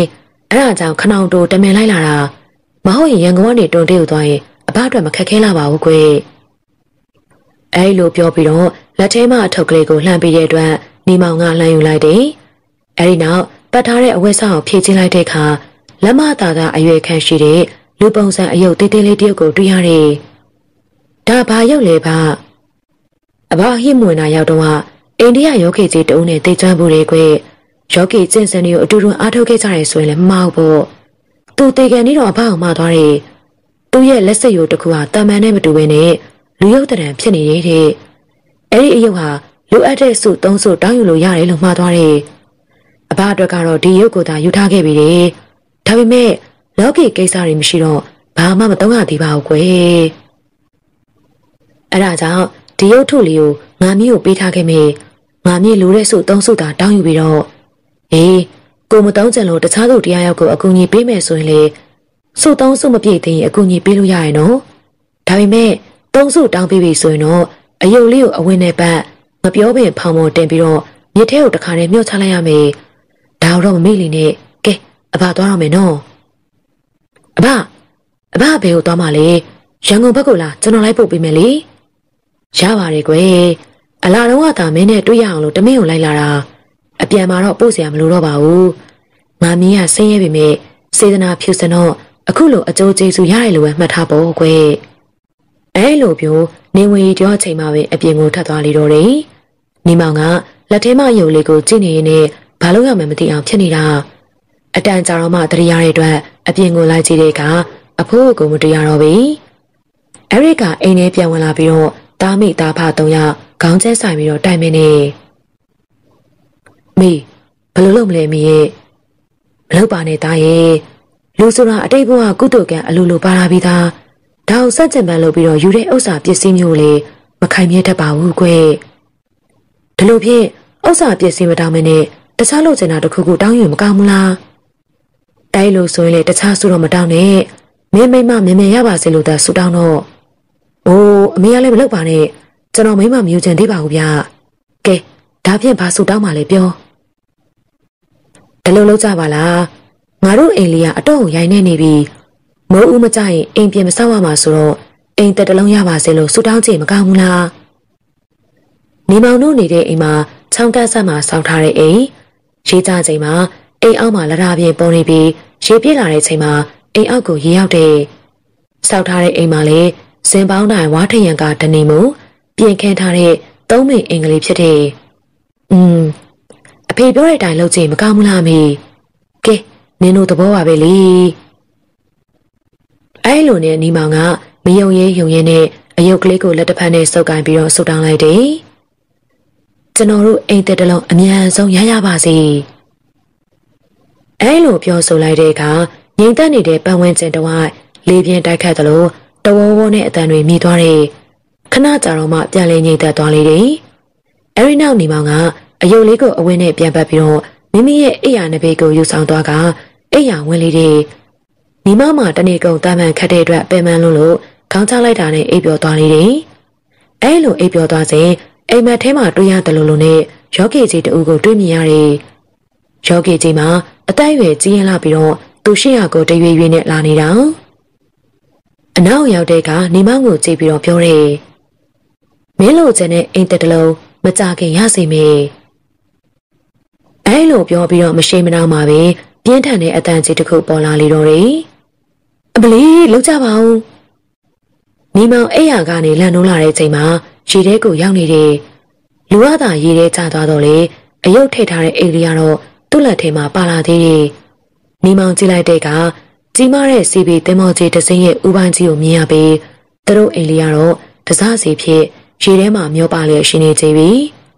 အဖြစ်မှန်ကတော့စပားတက်လာတဲ့စီဘီတင်မော်တစင်းဝဲကြောမိပြီးတော့အရှိန်မထိနိုင်တော့ဘဲနဲ့ကန်နဘေးကိုထုံးဝင်လာရာနေမောင်တို့အိမ်လေးကိုဝင်ရောက်တိုက်မိခြင်းဖြစ်လေတော့တယ်မိသားစု၃ယောက်စလုံးထိခိုက်ဒဏ်ရာမရတော့လေအိမ်လေးကတော့စိတ်စိတ်ညံ့ညံ့ကြည်သွားတာပေါ့နောက်တနေ့မှာပဲကလာတတိတယောက်ရောက်လာပြီးတော့အိမ်ဆောက်ဖို့ရော်ကျင်းငွေ2000လာပြီးတဲ့အတွက်နောက်ထပ်အိမ်တစ်လုံးအလင်းအမြန်ဆောင်းရတယ်ငွေ2000နဲ့ဆောင်းရတဲ့အတွက်အရင်ကတဏီမှုအိမ်လေးကို ပြင်အောင်သမုံအိမ်ဖြစ်လာတယ်ဒါပေမဲ့လေကြောင်မဖွယ်ရကောင်းလွန်လာတဲ့အဖြစ်ပြက်တွေကြောင့်နောက်ထပ်ကျန်တဲ့စုကိုမတောင်းဝင်တော့ဘဲနဲ့အဲ့ဒီရုပ်ကလေးကိုတင်ထားလိုက်တယ်နီမောင်မအိမ်ဆောင်နေတဲ့အတွက်ရအတန်ကြသေးတဲ့ကရို့တံမှန်မထွက်နိုင်မင်းနဲ့အိမ်ပြီးတော့မှသာတံမှန်ပြတ်ထွက်နိုင်နေအဲ့ဒီကခင်မီရီနဲ့ထွေးရဲ့အတွက်ခင်မီရီကမေးတယ်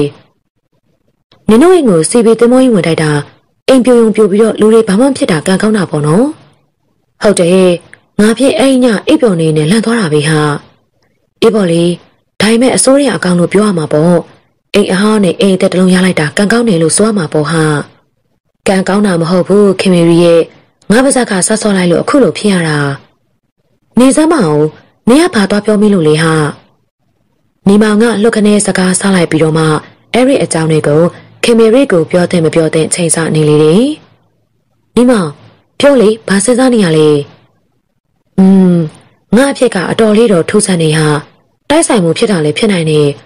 အဖမပြန်ခင်ကငါစီကိုရောက်လာတယ်ဟာအဲ့လိုအစားချေပြီးတော့နီမောင်ကအဖိုးကိုပေးခဲ့တဲ့အယုတ်ကလေးအကြောင်းကိုပြောပြလိုက်ရာခင်မေရီမှာပါဇက်အဟောင်းသားနဲ့များစွာစိတ်ဝင်စားသွားတယ်ငါစိတ်ထဲမှာအခုလိုဖြစ်တာတိုက်ဆိုင်မှုလားဒါမှမဟုတ်ဘဲနဲ့အဖပေးသွားတဲ့အယုတ်လေးရပဲအစွမ်းထက်တာလားဘာလားဆိုတော့ငါလည်းမပြောတတ်တော့ဘူးဟာဟာနင်ကလေတိုက်ဆိုင်မှုတော့မဟုတ်နိုင်ဘူး အယုတ်လေးကစွမ်းတာကြောင့်ပဲဖြစ်မှာပေါ့နေရပတ်စံများများရပါစေလို့ဆုမတောင်းမနဲ့ဘာကြောင့်အိမ်ရပါစေလို့ဆုတောင်းရတာလေဟာအမေကပြောရဟာကိုနဲ့မထိုက်တာကိုဆုမတောင်းတဲ့မူတဲ့အဲလိုဆုတောင်းမိရင်အန်ဒီဖြစ်တတ်တယ်လို့ပြောတယ်အဲ့ဒါကြောင့်ဆုမတောင်းဝင်တာဒါဖြင့်ဆုတစ်ခုတောင်းပြီးပြီဆိုတော့နောက်ထပ်နှစ်ခုတောင်းဖို့ကြံနေတာပေါ့နော်အေးဟုတ်တယ်နင်တစ်ခုလောက်ဆုတောင်းကြည့်ပါလား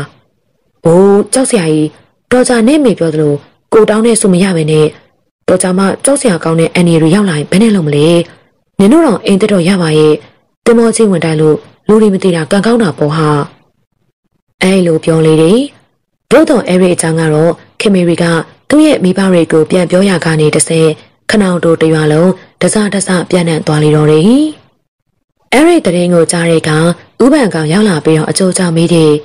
ညီမောင်ကအကြောင်းဆောင်ပြောပြပြီးရဲ့နောက်တိမ်ဆဲထားတဲ့ရုပ်ထုလေးကိုထုတ်ပြလိုက်တယ် ဥပန်ကောင်ကရုပ်ထုလေးကိုအသေးချကြည့်ပြီးတော့မျက်စိမဲ့ပြီးတော့အာယုံခံနေအတန်ကြာတဲ့အခါမှာပြောတယ်ဒီရုပ်ထုကတိတ်တိဝင်နေပြီဆိုတော့လိုရဲစုပ်တောင်းလို့ရနေပြီပေါ့ဘယ်လိုတိတ်တိမျိုးလဲဖတိတ်တိကတော့အမျိုးမျိုးရှိတာပေါ့ကွာတိတ်တိ10ပါးလို့သာပြောကြပါမိလောကီတိတ်တိ10ပါးလောကုတ်တရားတိတ်တိ10ပါးအဲ့လိုဆိုပြီးတော့နှမျိုးရှိသေးတယ်အဲ့လိုဆိုပြီးတော့ဥပန်ကောင်ကရှင်းပြလေတော့တယ် တိတ်တိ10ပါးအကြောင်းတွေကိုရှင်းပြတာอืมအဲ့ဒီတိတ်တိတွေကတဘာဘာဝင်ရောက်ကိန်းနေတဲ့ပစ္စည်းတွေဟာလိုရာဆန္ဒကိုပြင်းမြောက်စေတယ်မင်းဒီပစ္စည်းတွေရပြီးတော့မှစုပ်ပတ်နဲ့ချိန်တောင်းပေးပြီလေတခုပဲတောင်းရသေးတယ်ဗျအိမ်တတလုံးရပါစေလို့ဆူတောင်းလိုက်တာလက်ရှိနေတဲ့အိမ်ကိုစီပီတင်းမဝင်တိုက်ပြီးတော့ပြိုကျသွားတော့တာပဲရော်ကြီးရလို့အိမ်တက်တော့ရလိုက်ပါရဲ့လေဒါပေမဲ့လူတွေရဲ့အသက်အန္တရာယ်ကတော့အတော်လေးကိုနေတယ်ဗျရဲ့ဆူတောင်းနေဆိုတာ ဆူတိုင်းနာရတာမဟုတ်ဘူးကွာပါရမီရှိမှတော့၎င်းအတိတ်ဘဝကုသိုလ်ကံရှိမှတော့၎င်းတိုက်ဆိုင်မှရတာမြတ်စွာဘုရားတော်မှာဘုရားစုတောင်းယူလို့ရတာမဟုတ်ဘူးလေဘဝပေါင်းများစွာပါရမီဖြည့်ခြင်းခဲ့လို့သာဘုရားဖြစ်ကိုရတာကွယ်ဇောတိကတထေချေချမ်းသာတယ်ဆိုတာဒီဘဝစုတောင်းကြောင့်မဟုတ်ဘူးအတိတ်ဘဝပြုခဲ့တဲ့ကုသိုလ်ကံတွေကြောင့်ပေးလို့မကုန်လှလို့မခံချမ်းသာတာကွာအဲ့ဒါကြောင့်စုတောင်းဆိုတာစုတောင်းနိုင်ရတာမဟုတ်ဘူး လိုချင်အောင်ရအောင်စူးစမ်းမှစုတောင်းပြတာဟုတ်ပါတယ်ဗျာရဲ့တကယ်လို့ကိုနဲ့မထိုက်တဲ့စုကိုတောင်းမိရောဘလို့ဖြစ်မလဲဗျာမင်းလက်ထဲမှာရောက်နေတဲ့ရုပ်ထုကတေးရရှိတဲ့ရုပ်ထုဆိုတော့သူ့ရဲ့စွမ်းအားနဲ့မင်းလို့ကျင်တဲ့စုရအောင်လုပ်ပေးမှာပဲကွာဒါပေမဲ့ဗျာရဲ့ကိုနဲ့မထိုက်တဲ့စုကိုတောင်းရင်ဘလို့ဖြစ်မလဲဗျာရဲ့မင်းဘက်ကတခုခုတော့ပြန်ပေးရမှာပေါ့ဘလို့ပေးရမှာလဲဗျာအိုးမှာကွာမင်းမှာ ဘဝဟောင်းကကုသိုလ်ကံမရှိဘဲနဲ့ချက်ချင်းရွှေငွေရတနာတွေရပါစေလို့ဆိုတောင်းရင်ရုပ်ထုကသူ့ရဲ့တကိုယ်တိတ်ထင်းနဲ့ရအောင်လို့လုပ်ပြီးမှပဲဒါပေမဲ့ဒီရနာပစ္စည်းတွေဟာတဏှာကယူပေးတာဆိုရင်တော့မင်းထောင်နဲ့ဆာမှာပေါ့ကွာဟင်ဓာတ်ထက်လက်ပြရောက်ပါစေလို့ဆုတောင်းရင်တော့မင်းချက်ချင်းသိမှရမှာပဲဟာအဘပြောသလိုဆိုရင်ကြောက်စရာပါလားဗျာမထိုက်တန်တာမလုပ်ရင်တော့ဘာမှကြောက်စရာမလိုဘူးကိုနဲ့ထိုက်တန်တာကိုပဲစဉ်းစားပြီးတော့လုပ်ပေါ့ကွာ အဲလိုပြောဆိုပြီးတော့ဥပန်ကောင်ကအယုတ်ကလေးကိုပြန်ပေးလိုက်တယ်ပြီးတော့ထပြန်သွားတယ်ညီမတို့မိသားစုလေပထမတဆုတောင်းလိုက်ရာအိမ်ပြိုသွားပြီးတော့မှနောက်ထပ်အိမ်တစ်တလုံးရတဲ့အတွက်နောက်ထပ်စုတဆုတောင်းအောင်ကြောက်နေတာကဲဒီလိုဆိုရင်လေဒီရုပ်ကိုအိမ်မှာမထားဘဲနဲ့တခြားလူတူပေးလိုက်မကောင်းဘူးလားအိုးတော်လည်းမလုပ်ပါနဲ့ကိုပေးလိုက်ပြီးတော့သူတို့တခုခုဖြစ်သွားတော့မှကို့ပေါ်အပြစ်တွေပုံချလာမှပြင်ခတ်နေပါအောင်မယ်တော့ နောက်တော့အဲ့ဒီရုပ်လေးကိုဘသူ့မှမပေးဘဲနဲ့အိမ်မှာပင်တင်ထားလိုက်ကြလေတော့တယ်ဒီနေ့မှာတော့သူတို့အိမ်ကိုဦးတန်းဖေနဲ့တောင်ငွေစာတို့နှစ်ယောက်ရောက်လာတယ်၎င်းတို့နောက်ကနေကလားလုတ်သမားတယောက်ကစံတအိတ်ကိုထိုင်ယူလာတယ်။အိမ်ဘဝရောက်တဲ့ကစံအိတ်ကိုချထားပေးလိုက်တယ်။ဟောဦးတန်းဖေတို့ပါလားအိမ်မော်လာကြဗျလာကြခမရတို့အိမ်သက်ဆောင်လိုက်ပြီဆိုလို့လာကြည့်တာဗျအခုတော့လေဦးသိအိမ်တရပြီးတော့ဟန်ကြသွားပြီပေါ့ကဲ ဒီမှာပြို့ဆန်ဆက်ထေးကငကြွဲဆန်ကောင်းကောင်းရတာနဲ့ခမရတို့စားဖို့တအိတ်ယူလာသေးတယ်ကျေးဇူးတင်ပါတယ်ဗျာကဲကဲကဲအိမ်မော်တက်လာကြပါအဲလိုဖိတ်ခေါ်တဲ့အတွက်လင်မယားနှစ်ယောက်အိမ်မော်ကိုတက်လာတယ်အခုချိန်ကျမှထူးထူးခြားခြားတကူးတကရောက်လာခြင်းဖြစ်တယ်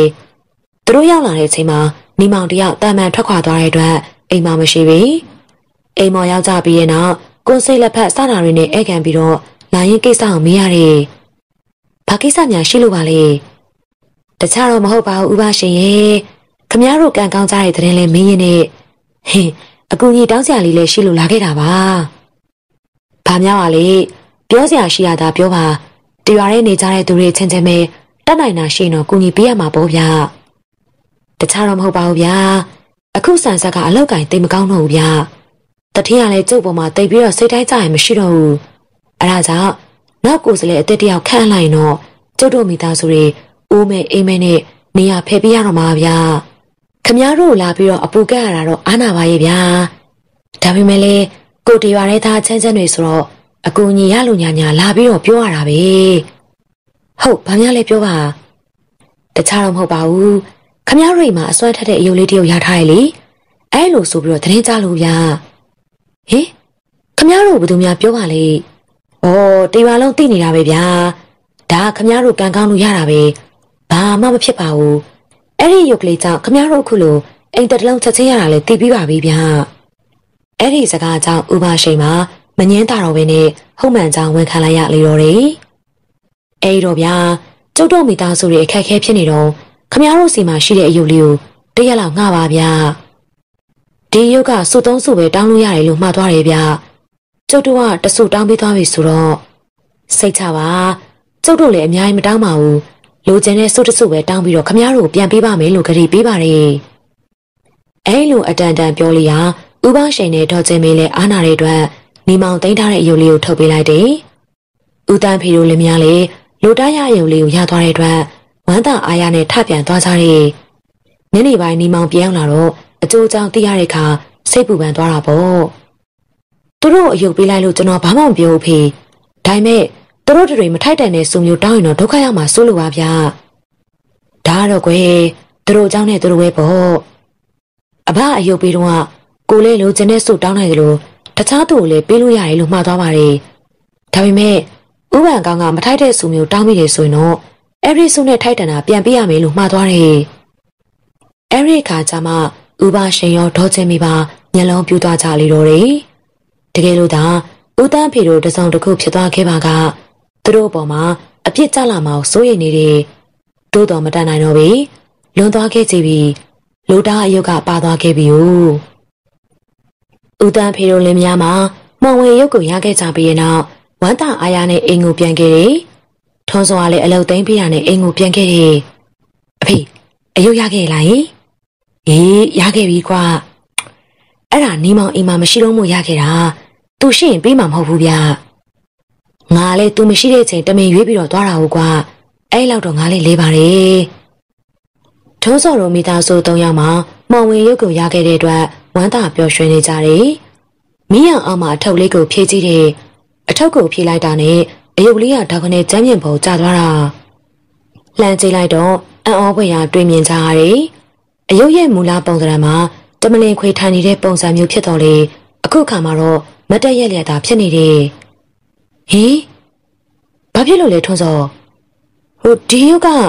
စောစောထိုင်ရပုံစံမျိုးတွေ့ရပြီးတော့အခုတော့မတက်ရက်နေတယ်မင်းရလေကွယ်အယုတ်ကတော့ထိုင်လိုက်ထိုင်လိုက်မလုပ်နိုင်ပါဘူးမင်းမျက်စိအကြည့်မားတာဖြစ်မှာပါအဲ့လိုဒေါ်ငွေစာပြောတဲ့အတွက်ထုံးစော်ကဘာမှပြန်မပြောတော့ဘဲနဲ့အယုတ်ကလေးကိုကုန်းကားလိုက်တယ်။သို့တော့လက်နဲ့ထိကန်နေမှအယုတ်ကနေရာရွေးသွားတယ်။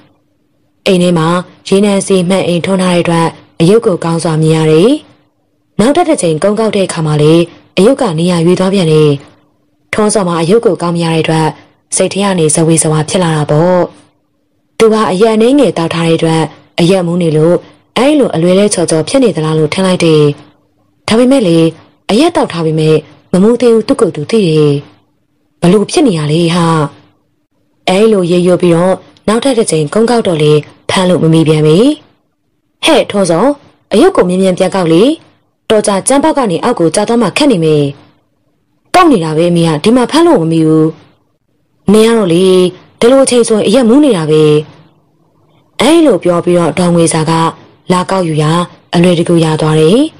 အယုတ်ကိုရတဲ့အခါတားမိတာဖသုံးယောက်ခေါင်းကျဲဆိုင်ပြီးတော့တိုင်မင်းနေဥပရှင်တို့စီကအယုတ်ကိုငားလာတော့ စွတ်တခုပဲတောင်းမမယ်လို့ခရီးခံလာခဲ့တာဘာစွတ်တောင်းကောင်းမလဲ။အိုးတော်ရင်ပြောပေါ့ငါတော့အခုလုံးနေတဲ့စိတ်ဓာတ်ဒုက္ခဆန်ဆက်ကြီးကိုအပိုင်ရချင်တာပဲ။အိုးတော့ရဲ့ဆန်ဆက်ကဘာလို့မှလဲအခုဆန်ဆက်လုပ်ငန်းတွေကလည်းတိတ်ကောင်းတာမှမဟုတ်တာ။အခုကျုပ်တို့မှာစီးပွားရေးမကောင်းတော့ရှိတဲ့လက်ဝက်လက်စားတွေထုတ်ခွဲရောင်းချဖြစ်တာနဲ့ကျုပ်မှာဘာမှမရှိတော့ဘူး။ဒီတော့ကျုပ်ရဲ့စိန်တဲ့ရွှေတွေပြရပါစေလို့ဆူတောင်းပို့ပြီးတော့မကောင်းဘူးလား။အမေရလေဗျာ အမေရဲ့လက်ဝက်လက်စားတွေကပတ်စံရှိတဲ့ကဘဲချင်းပြန်ဝင်ဝရနိုင်တာပဲအခုလောလောဆယ်တော့ကျွန်တော်အတွက်ကိုပဲဦးစားပေးကြပါဟဲ့နေစမ်းမအောင်နေကဘာလို့ချင်လို့လဲဟီကျွန်တော်မိမလို့ချင်နေအိုးမိမလို့ချင်တာပဲယူဖို့ဟဲ့ခိုင်းလဲနင်းကြယူနေတာပဲမဟုတ်လားဒုက္ခဒုက္ခဆူတောင်းစရာလိုသေးလို့လားအခုကျွန်တော်လိုချင်တဲ့မိမလိုချင်နိုင်မရလို့ခက်နေတာပေါ့ဗျာနေစမ်းမအောင်နင်းကြိုက်တဲ့မိမဘယ်သူမှမလို့တောက်တောင်ခက်ခက်ခဲခဲဖြစ်နေရတာလေ ခင်မေရီပေါ့ဗျာ။ तू ကကျွန်တော်ကိုမကြိုက်ဘူး။ဒီတော့ तू သဘောကျအောင်လို့သူ့ကိုတောင်းနိုင်မငွေလိုတွေငွေမများရအောင်ဆူတောင်းရမယ်။ငွေရှိရင်အဖေလိုချင်တဲ့ဆန်ဆက်ဖဲဝဲဝဲအမေလိုချင်တဲ့စိန်တဲ့ရွှေတဲ့တွေပဲဝဲဝဲအားလုံးရနိုင်တာပဲလေ။ကဲအဲ့လိုဆိုရင်လေမင်းပြောတဲ့အတိုင်းငွေရပါစေလို့ဆူတောင်းတော့မယ်။ဘယ်လောက်တောင်းမလဲ။အိုးတောင်းမေတောင်းတော့လေတခါတည်းချမ်းသာအောင်များများတောင်းမောရှင်။မဖြစ်သေးဘူးထင်နေဖေ။ ရွာထဲမှာတရင်တစ်ခုကြားတာကမတန်တဲ့စုတောင်းရင်မရဘူးလို့ပြောကြတယ်တိတ်အများကြီးတောင်းလို့မရဘူးထင်တယ်အဲလိုထုံးစော်ကဝင်ပြောတဲ့အတွက်တားမိသားဖသုံးယောက်ခေါင်းကျန်းဆိုင်ပြီးတော့တိုင်မင်းနေအတန်ကြာတော့အားလုံးသဘောတူနိုင်တဲ့အဖြေတစ်ခုရတယ်ကျွန်တော်တို့တားမိသုံးဖသုံးယောက်စလုံးလိုချင်တာတွေရဖို့အတွက်ငွေတထောင်လောက်ဆိုရင်တော့ရပြီပေါ့ငွေတထောင်ဆိုရင်တော့ဆန်းဆက်လဲရမယ်အမေလိုချင်တဲ့လက်ဝဲရတနာတွေလည်းဝင်နိုင်မယ်ကျွန်တော်လည်းခင်မေရီကိုတောင်းလို့ရမယ်အဲဒီတော့ ငွေတောင်းရပါစေလို့ပဲဆူတောင်းလိုက်မယ်။อืมငွေတောင်းလောက်ဆိုရင်တော့နဲတော့မနေလာပါဘူးလေ။လူတယောက်တည်နေမှာရော်ကြီးကတောင်းမဲ့ပေးကြတာဆိုတော့လူတယောက်ရဲ့အသက်ဖုန်းနဲ့ညီမျှတာပဲ။တောင်းချင်လဲတောင်းပေါ့။အဲလိုဦးတန်းဖေကပြောတဲ့အတွက်ထုံးစုံကရုပ်ထုလေးကိုလက်နှစ်ဖက်နဲ့ကိုင်းဦးကောင်းမမြောက်တင်လိုက်တယ်။ပြီးတော့ကျွန်တော်တို့မိသားစုလိုချင်တဲ့ငွေတောင်းတိတိအမြန်ဆုံးရပါစေ။အမလီဟဲ့ဘာဖြစ်တာလဲ။ လက်ထဲမှာကင်ထားတဲ့ရုပ်ကတလုံးလုံးဖြစ်လာလို့လန်ပြီးတော့လွတ်ချလိုက်တာမေနေရလေဟဲ့အယုတ်ကတော့လှုပ်ပါမလားနေစိတ်ထင်လို့ဖြစ်မှာပါအဲလိုပြောဆိုပြီးတော့ဒေါငွေစာကအယုတ်လေးကိုပြန်ကောင်းအဝတ်စားနဲ့ပြန်ပတ်အခန်းထဲကိုယူသွားတယ်အဲဒီနေ့ညမှာတော့သူတို့သုံးယောက်စလုံးအတွေးကိုစီနေမှုတော်တော်နဲ့အိမ်မပြောပြီထုံးစော်မလေးတကယ်လို့ငွေတွေရလာပါကခင်မေရီကိုမရရအောင်ယူမယ်လို့စိတ်ကူးထားတဲ့အတွက် အတော်ညင်းထဲမှာအိပ်ပျော်သွားတယ်။အဲလိုအိပ်ပျော်သွားစဉ်အိမ်မက်ထဲမှာရောဂဲကြီးတယောက်ကိုတွေ့ရပြီးတော့အတန်အောအောကြီးနဲ့ပြောတယ်။ဥစ္စာပစ္စည်းဆိုတာကန်ရှိမှရတာမတရားလိုချင်တော့ထိုက်တန်တာတခုပေးရမယ်။အဲလိုပေးပြီးတဲ့နောက်မှာမင်းလိုချင်တာရမယ်။အဲလိုပြောဆိုပြီးတော့တဖြည်းဖြည်းပြောက်ွယ်သွားလေတော့တယ်။ထုံးစော်လေစိတ်ကဆွဲလန်းတဲ့အတွက်အိမ်မက်မက်တယ်လို့ထင်နေလို့အမတ်မထားတော့ဘူး။ နောက်တနေ့မနက်စောစောဆန်ဆက်မအော်အော်ဆွဲတံပေါ်ထွက်လာပြီးတဲ့နောက်အလုတ်စင်းရန်ဆန်ဆက်ကိုထွက်သွားတယ်။ဦးတန်းဖေနဲ့တောင်ငွေစားတော့မှလေတညာလုံးကောင်းစွာအိမ်မပြောကြဘဲနဲ့မနက်စောစောအိယာမှာထပြီးငွေတထောင်ဘယ်ပုံဘယ်နည်းရမီကိုတွေးတောနေကြတယ်။အဲလိုနဲ့တအိမ်လိုချောင်းကျိုချောင်းကြားပါမကြမ်းရှာဖွေကြည့်နေမိတော့တယ်။ဦးတန်းဖေရဲ့စိတ်ထဲမှာလေပစ္စည်းဥစ္စာပေးတယ်ဆိုတာမြေရောက်ကပေးတာဆိုတော့ခြံဝင်းထဲမှာများရှိလိမ့်မလား။အဲလိုဆိုပြီး မိုးမလင်းခင်ကလေးကမတိမတာလိုက်ရှာနေတာ၎င်းတို့နေတဲ့အိမ်မှာဆန်ဆက်ဝင်းတွင်းမှာပဲရှိတဲ့အတွက်ဆန်ဆက်လင်းနေတဲ့အတန်ကိုအတိုင်းသားကြားနေရတယ်။ခေါင်းနိုင်ရပြန်လွင်ထွက်လာတဲ့မိကုံငွေတွေနဲ့တူပြမုံတွေလည်းပါလာတယ်။ဦးတန်းဖေကပဝင်းချင်အနံလိုက်ကြည့်တော့လေအချိန်နေဘာမှမတွေ့ရတဲ့အတွက်စိတ်ပြက်လက်ပြက်နဲ့အိမ်ပေါ်ပြန်တက်လာတာပေါ့အဲ့ဒီခိုင်မှာပဲတဝီဝီလည်နေတဲ့ဆက်တံမှာရုတ်တရက်ရက်တန့်သွားတယ်။ဆန်ဆက်ရက်သွားတာနဲ့တပြိုင်နက် ဆန်ဆက်အတွဲမိုင်းကနေစူညံစူညံတန်တွေကိုကြားရတယ်။ဦးတန်းဖေမှာဆန်ဆက်ပိုင်ရှင်ရဲ့ကိုယ်စလဲဖြစ်တဲ့အတွက်ဆန်ဆက်တစ်ခုခုဖြစ်ပါကသူ့အပေါ်မှာတာဝန်ရှိလို့အခြေအနေသွားကြည့်ရန်ပြနေစဉ်ဆန်ဆက်အတွဲမှာကလာတရပြေးထွက်လာတယ်။အဲ့ဒီကလာကဦးတန်းဖေနေအိမ်ကိုပြေးလာခြင်းဖြစ်လေတယ်။ဆရာကြီးဆရာကြီးဘာဖြစ်တာလဲဆက်ပါဆောင်ရက်သွားတာလေထွန်းထွန်းထွန်းစောထုံးစောဘာဖြစ်လို့လဲ တရေပဲချိုးတဲ့ပါသွားပြီးတော့တေပြီဆရာကြီးဟေးဦးတန်းဖေရောတောင်းဝေစာပါဆန်ဆက်အတွင်းကိုပြေးသွားကြတယ်အတွင်းရောက်တော့မြင်ကွင်းကမကောင်းလာပြီအလုသမားတွေကဆက်ထွဲပါသွားတဲ့ထုံးစောရဲ့အလံကိုခက်ခက်ခဲခဲဆွဲထုတ်ယူလာတာတွေးဆက်တရနေရအနှံ့စွန်ပေးနေတယ်ထုံးစောမှာဆန်ဆက်တရေဘက်ကျိုးနဲ့ညှက်ပါသွားတဲ့အတွက်တကူလုံးရုပ်ပြက်ဆင်းရဲဖြစ်နေပြီအဝတ်အစားတွေကြောင့်သာထုံးစော်လို့သိရပေ ကျန်တာတော့အတော်ကြီးမှသိနိုင်နေဘာလို့လဲဆိုရင်တော့ဥကောင်းခြေလက်ခန္ဓာကိုယ်စတာတွေမှာစညက်တဲ့ဒဏ်ကြောင့်ချိန်မနေပြီးတိုးလို့တွဲလောင်ဖြစ်နေပြီလေအမလီဖြစ်ရလေတာရဲ့အဖြစ်ဆိုးလာကြည်လားဒံငွေစာရဲ့အော်ငူတန်မှာဆူဆူဝါးဝါထွက်ပေါ်လာလေတယ်ဘလို့ဖြစ်ရတာလဲအပေါ်ကဖွဲစကားကိုတက်ကြည့်ရင်လည်းခြေချော်ကြပြီးတော့ဆက်ထဲကိုညက်ပါသွားတော့တာပဲဆရာကြီး ကျွန်တော်လည်းတိတိကျကျဆက်ကိုရက်တာပါပဲဒါပေမဲ့ဆက်စရာကလာကစိတ်မကောင်းစွာပြောပြတယ်အဲဒီနောက်ထုံးစော်အလောင်းကိုအပြင်ကိုထုတ်ယူလာပြီးနေအိမ်ကိုတည်သွားတယ်နေ့လယ်ပိုင်းမှာကလာတတိရောက်လာတယ်အလုပ်သမားတယောက်လာပြောလို့ခမရသားအကြောင်းကိုသိရတယ်ကျုပ်လည်းစိတ်မကောင်းပါဘူးဗျာအလုပ်လုပ်ရင်းနဲ့မတော်တဆဖြစ်တာဆိုတော့ကျုပ်တို့ဆန်ဆက်မှာတော့တာဝန်မရှိပေဘူးမှန်ပါတယ်ပြီဗျာဒါပေမဲ့ ခမရအကျုပ်စီမှာလှုပ်လာခဲ့တာနှစ်တော်ကြာပြီဆိုတော့ရော်ကြီးပေးရတော့မဟုတ်ပါဘူးဂယုဏကြီးအနေနဲ့ကျုပ်ငွေတထောင်ပေးပါမယ်ဗျာငွေတထောင်ဟုတ်လားဘာဖြစ်လို့လဲဗျာနဲလို့လားမမဟုတ်ပါဘူးတတိယမနေပါဘူးကျေးဇူးတင်ပါတယ်အဲလိုပြောလိုက်ရကလာတတိယတရားနဲ့အရွက်တရာဆေးထားတဲ့ပတ်စံတို့ကိုချပေးခဲ့ပြီးပြန်သွားလေတော့တယ်အဲ့ဒီခါကျမှဦးတန်းဖေနဲ့ဒေါငွေစာတို့ တယောက်နဲ့တယောက်အပြစ်ပုံချကြတော့တယ်အဲ့ဒါတော့ဆက်စော့လို့ဖြစ်ရတာကြောက်သားလေးတေးရတာတော်ချုံမွေလို့ငါကြည့်အပြစ်ပုံချနေလေကွာဒီကိစ္စမှာမင်းလည်းသဘောတူလို့ပါတာပဲကွာဒါပေမဲ့ကျုပ်တို့ကြောင့်ကျုပ်သားလေးအသေးဆုံးနဲ့တေးရတာပါတော့ဘယ်လိုလုပ်ကြမလဲတေးသွားပြီးမှတော့ဘယ်လိုတက်နိုင်တော့မှလဲကွာအိုးမရဘူးကျုပ်သားအသက်ပြေရှောင်တော့လှုပ်တဲ့နာလှုပ်ရမှာပဲ မငွေစာမင်းယူသွားပြီထင်တယ်တေရီသားလူတယောက်ကိုဘလို့အသက်ပြန်ရှောင်လှုပ်လို့ရမလဲကွယ်ရှင်ယူလာတဲ့ရုပ်ကစူတောင်းပြည့်တယ်မဟုတ်လားညီမောင်တို့တော့ကလေအိမ်သိရပါစေလို့စူတောင်းတာရတယ်လေအခုကျုပ်တို့လည်းငွေတောင်းရပါစေလို့စူတောင်းတာရတာပဲမဟုတ်လားတော့ဒါပေမဲ့ကွာအိုးဒါပေမဲ့ဒီဘာတွေလုံးမနေနဲ့အယုတ်စီမှာစုတခုတောင်းမှုကြံသေးတယ်မဟုတ်လားအဲ့ဒီစုတခုကကျုပ်သားအသက်ပြန်ရှင်လောင်တောင်းရမှာပေါ့ဟာ မင်းမဟုတ်တာတွေမလုပ်နဲ့ကွာအားလုံးဒုက္ခတွေများကုန်ပါမယ်အိုးဘာမှဒုက္ခရောက်စရာအကြောင်းမရှိဘူးအယုတ်ပဲမလဲကျုပ်ကသာပေးစမ်းပါအဲ့လိုအတဲတောင်းလျာဦးတန်းဖေမှာများစွာထိတ်လန့်သွားလေတော့တယ်အဲ့ဒီအယုံနဲ့စူတောင်းရင်ပြည့်တယ်လို့ဆိုတော့လေအန်ရဲ့ကြီးမားတဲ့ပုံကိုသူကိုယ်တိုင်တွေးခဲ့ရပြီမို့မပေးဝင်တော့ဘူးအယုတ်ပေမှာထားသလေတော့နေနေနေပါအောင်ကွာငါလေးထူပူနေရနဲ့ အယုတ်ကိုဘယ်နေရာထားမိမှန်းတော့မသိဘူးတတိယတော့မှပြန်ရှာပေးပါမယ်အိုးတိတ်ကြသွားရင်ဘယ်ကားမှမလဲမตาမချခင်စူတောင်းမှဖြစ်တော့မပေါ့အခုတော့အလောင်းကပုတ်ဆပြုတ်နေပြီအေးပါကွာငါလိုက်ရှာကြည့်ပါအောင်မေတွေ့ရနဲ့မင်းကိုပေးပါမယ်ဟုတ်ပလားအဲ့လိုဦးတန်းဖေကပြောဆိုနှစ်သိမ်းလိုက်တော့မှဒေါငွေစားမှာမကြိမ်မနက်နဲ့ညင်ကြသွားလေတော့တယ်ထုံးစော်ရဲ့အလောင်းကိုတုံးရက်ထားပြီးတော့ တုတ်တန်ကိုပို့ပြီးတော့မြေမြုပ်တကြိုလိုက်တယ်ဒါပေမဲ့ရက်တလေးရွာတလေးတိုင်းအိတ်ခမ်းထဲမှာကနပြင်းတွေမိုးကဖေဝိုင်းကဝိုင်းနေပြုတ်လို့တယ်အဲ့ဒီအချိန်မှာအာတုဘရက်ပြီးမှုအိမ်မှာဖဲသမားတွေရှိနေလို့တော်သေးတယ်လို့ဆိုရမယ်ဘာလို့လဲဆိုရင်တော့ထုံးစော်သေးပြီးညပိုင်းတွေကတရေချောက်တဲ့တံကိုလူတိုင်းခံစားကြရတာလေ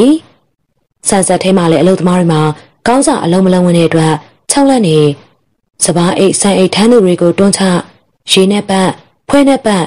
အဲလိုတွေပြင်စံချတဲ့မေယုံဘက်မှာမဲမဲတရံကြီးရက်နေတာကိုမတဲမခွဲတွေ့ရတယ်။တချို့ကလည်းထုံးစောလို့အတက်ပြောတယ်။ထုံးစောသေးသွားပြီးတဲ့နောက်မှာလက်ထောက်ဖြစ်တဲ့ကလာကသူ့နေရာမှာဝင်ရောက်လောက်ကင်တော်လေကောင်းစွာအလုပ်မလုပ်ပါဘူး။စံချတဲ့အပေါက်ကိုဖွင့်ပိတ်ခြင်းတွေပြုလုပ်ရုံမကအလုံးလုံးနေတဲ့ကလာကိုရင်းနဲ့ပတ်ခြင်းဖွဲပြနဲ့ပတ်ခြင်းအဲ့ဒါတွေပြုလုပ်ရုံမကသေးပဲနဲ့လက်အေးကြီးတွေနဲ့ကျောင်းလာကင်တဲ့အတွက် စံဖြတ်သူကလာမှာအလုတ်ဆက်ပြီးတော့မလုံးဝတော့ဘဲနဲ့ထွက်ပြေးရတယ်။ထို့တူစက်ခန်းထဲမှာအလုံးလုံးနေတဲ့သူဘွိုင်းလာအိုးမမီးထိုးနေတဲ့သူတွေမှလည်းကြောက်မက်ဖွယ်ရာအသင်တရနဲ့အဲ့လိုအမျိုးမျိုးချောင်းလက်ခံရလေတော့တယ်။စံဝင်းတဝင်းလုံးမှာလူပြတ်တဲ့ဘွိုင်းလာအိုးမီးထိုးတဲ့နေရာနဲ့ထုံးဆောင်အစိမ့်တေတေသွားတဲ့မေယုံကန်းတွေမှာဖြစ်တယ်။ညမိုးချုပ်လာတာနဲ့ထုံးဆောင်နဲ့အများစွာပုံမှန်တဲ့တံတူတဲ့မဲမဲတံချိန်မှာဆက်တွဲနေရအနက်သွားလာနေတာကို အလုသမားတော်တော်များများကမြင်ကြတယ်လေအဆိုးဆုံးကတော့မေယုံမေယုံတွင်းကိုနေနေညညလူဝင်မရအောင်လို့ခြောက်လန့်တဲ့အတွက်မေယုံကိုအလုံးမစင်းဝင်အောင်ဖြစ်နေတယ်ထုံးစော်အာသူဘရက်လေဖို့အတွက်ဖဲဝိုင်းနေတင်းသွားတဲ့အခါဦးတန်းဖီတို့အင်သားတွေကြံခဲ့တယ်အဲ့ဒီကတရေချောက်တဲ့တန်ကိုအလူလေးခံကြရလေတော့တယ်မိုးချုပ်တာနဲ့ထရန်ကိုတပုံပုံလာပုတ်ချိန်အမောင်ရီထေးကလမ်းလျှောက်တဲ့အတန်တွေကိုလေအတိုင်းသားကြားနေရတယ်။ဒီချိန်မှာတော့ ညာဦးဘက်ရောက်ခါမှဘိုင်းနာလာတဲ့အတွက်ဦးတန်းဖေတယောက်တည်းအိမ်သာသွားတဲ့စဉ်တကားကိုဖွင့်တဲ့အခါအိမ်သားတွေကမဲမဲကြီးထိုင်နေတာကိုတွေ့ရတဲ့အတွက်အိမ်ဘက်ကိုပြန်ပြေးလာရတယ်။အဲ့ဒီကဒေါငွေစာပြောတယ်။ဘယ်နဲ့လေကိုတန်းဖေကျုပ်သားလေးကကျုပ်ကိုမခွဲနိုင်လို့အိမ်သားမှာတရေဝဲဝဲလုံနေတာရှင်သိပြီမဟုတ်လား။ရှင်သိထားတဲ့ရုပ်ကိုကျုပ်ကိုပြီးတော့ကျုပ်ကျန်တဲ့စုတောင်းလိုက်တော့မေ။နေပါအောင်မငွေစာရဲ့အချိန်တန်တော့ငါရှာပေးပါမေကွယ်။ အဲလိုပြောပြီးတော့ဦးတန်ဖေကအယုတ်ကိုမပြီးဘဲနဲ့ထားလေတယ်စိတ်ဓာတ်ဒုက္ခဆန်းဆန်းဝင်းတစ်ခုလောက်မှလေတရေ၆တဲ့အတွက်နေတထိတ်ထိတ်ညတထိတ်ထိတ်အဲလိုဖြစ်နေကြတယ်အလုတ်သမားတွေမှာအလုတ်ကိုဖြောင်းအောင်မလုပ်ဝင်တဲ့အတွက်ဆန်ဆက်ကိုပိတ်ထားမယ့်အခြေအနေဖြစ်နေတယ်ဒါပေမဲ့တတိယနဝလီဆန်တွေပြတ်သွားမှဆိုတဲ့အတွက်ဆန်ဆက်ကိုပိတ်ဖိုင်းရမယ့်နဲ့ဆက်ဖွင့်နေစေတယ်အလုတ်သမားတွေကလေတထေးမင်းကိုမလုံဆန်ဝင်တဲ့အတွက်ကြောက်ကြောက်လန့်လန့်နဲ့ပဲဆက်ဖွင့်ရတာ စိတ်ဓာတ်ဒုက္ခဆန်းဆန်းမှာခနောင်တို့ရွာနဲ့တဆက်တည်းရှိတဲ့အတွက်အဲ့ဒီတဲ့ရင်ကိုရွာရရလဲကြားရတယ်။ရွာရရသူတွေမှလည်းထုံးစော်နဲ့တည်ကျွမ်းနေသူတွေမို့တရေချောက်ခံရမှာစိုးရင်နေတာ။အဲ့ဒီထဲမှာခင်မီရီလည်းပါဝင်တာပေါ့။ဒီနေ့ညဦးပိုင်းဈေးရောက်နေတဲ့အိမ်ရှိဘက်ကနေခြေတံလိုလိုကြားလိုက်တဲ့အတွက်ခင်မီရီလှန့်ကြည့်လိုက်တဲ့အခါဘာမှမတွေ့ရဘူး။တစ်ဖြက်ဖြက်နဲ့လမ်းလျှောက်နေတဲ့ခြေတံကိုနားနဲ့အတိုင်းသာကြားနေရတာ။ ကြားတိုင်းလဲလှည့်ကြည့်ရဘာမှမတွေ့တဲ့အတွက်ကြောထဲမှာစိတ်တက်လာတယ်။အမခြေတံကြားရပြီးတော့ဘယ်သူမှလည်းမတွေ့ရပါလား။အေးကြွက်ပြေးတာဖြစ်မှာပေါ့ဟဲ့။ကြွက်ခြေတံမဟုတ်ဘူးနော်မလူခြေတံပါဗျာကျွန်တော်တိတိကျကျကြားနေရတဲ့ဟာလူဆိုရင်တွေ့ရမှာပေါ့ဟဲ့ကြွက်မလို့မတွေ့ရတာပေါ့ခင်မေရီရဲ့မောင်လေးကဘာမှထပ်ပြီးတော့ပြောတော့ပြီခဏကြာတော့အင်းရှိမှချိတ်ဆွဲထားတဲ့ဈေးတုပ်တွေကိုတရားရောက်က လက်နဲ့ပုတ်လိုက်သလိုလှုံရမ်းသွားလိတယ်အမလူမတွေ့ရဘဲနဲ့ဈေးတို့တွေကလှုပ်နေပါလားတရေချောက်တာဖြစ်မယ်နော်ကျွန်တော်မနေဘူးလို့ဗျာအဲ့လိုပြောဆိုပြီးတော့မောင်ငယ်ဖြစ်သူဟာနေရာမှထပြေးလေတော့တယ်ဟဲ့ကောင်လေးငါတယောက်တည်းမထားခဲ့နေအောင်လေအဲ့လိုခင်မေရီကလှမ်းအောင်လိုက်တဲ့အခါအိမ်ထဲမှာအမေကထွက်လာတယ်ဟဲ့ဘာဖြစ်နေရလဲ အငယ်ကောင်ပေါ့ထွက်ပြေးလို့ခေါ်နေရမေရဲ့သူကဘာဖြစ်လို့ထွက်ပြေးရတာလဲအေးဟိုလမ်းဘက်ကကြွက်ပြေးတာထင်ပါရဲ့ခြေတံကြတာနဲ့ထွက်ပြေးသွားတာပဲကဲကဲကဲအပြင်မှာမှောင်နေပြီဆိုတော့ဈေးဆိုင်တိမ့်ချိန်တိမ့်လိုက်ပါလားအမေနားမှာစောင့်ပေးမေအဲလိုပြောတဲ့အတွက်ခင်မေရီကရခင်ဆိုင်ပိတ်ချိန်မရောက်ခင်သေးတော့လေဆိုင်ကိုစောစောတိမ့်လိုက်တယ်နောက်တနေ့မနက်မိမောင်တာမန်နဲ့ရန်ကုန်ဘက်ကန်းကိုကူတဲ့အခါအကြောင်းစုံကိုပြောပြလိုက်တယ် အဲရိကာနီမောင်ကอืมထုံးစောကအစိမ့်တည်တည်တာဆိုတော့ကြွတ်ချင်မှလဲကြွတ်မှာဟာပြီးတော့ तू ကနင်းကိုသဘောကျနေရသူဆိုတော့ဝိညာဉ်ဘဝနဲ့လာလေခြင်းလဲလာလေနေဝိညာဉ်ဘဝနဲ့လာလေခြင်းလဲလာလေနေမှာပေါ့ဟာဟဲနင်းကလေဟဲ तू သဘောကျပြီမဲ့ငါသူ့အရင်ကတည်းကသဘောမှမကျခဲ့တာနင်းအဲ့လိုပြောတော့ငါပူကြောက်တာပေါ့ဟာအဲ့လောက်လေကြောက်နေပါနေဟာထိုးစွာနင်းကိုဘာမှမလုပ်နိုင်တော့ဘူးတကယ်ကြောက်စရာကောင်းတာ သူ့အသက်ရှင်စဉ်နေတော့ကြောက်စရာပိုကောင်းတာအခုရုံမှမရှိတော့တာဝိညာဉ်ပဲရှိတော့တဲ့ချိန်မှာနင့်ကို၆လိုက်ရုံပြင်သူဘာမှမလုပ်နိုင်တော့ဘူးလူဘွားတော့ငါငါ့ကိုနောက်ရှက်ရင်ပလိတ်သွားတိုင်မှာဖို့ဟဲ့အခုနောက်ရှက်နေရကြတော့ငါဘသူ့ကိုသွားတိုင်ရမှာလဲပြောဖျားစာတွေတရားစာတွေတိုင်တယ်ဘောဟာအဲ့လိုဆိုရင်သူ့နေနောက်မကန့်ဝန်းတော့ဘူးလေအဲ့လိုဖျားစာတရားစာတွေယူရင်တစေတည်းတွေကငါနောက်တကယ်မကန့်နိုင်ဘူးလားယင်တကယ်ဘောဟာနေမြုံမှုဆိုရင်လေ ငါ့ကိုအဖေပြောပြခဲ့တဲ့အဖြစ်အပျက်လေးတခုငါပြောပြမယ်အဲ့လိုနေမောင်ကအေးအေးဆေးဆေးတန်မှန်ခန့်နေရင်နေမှာအဖြစ်အပျက်တစ်ခုကိုပြောပြလေတော့တယ်နေမောင်ပြောပြတဲ့အဖြစ်အပျက်တွေကိုခင်မေရီကစိတ်ဝင်စားစွာနဲ့နားထောင်နေတယ်တစေတရေဆိုတာပရလောကသားတွေပဲဟာ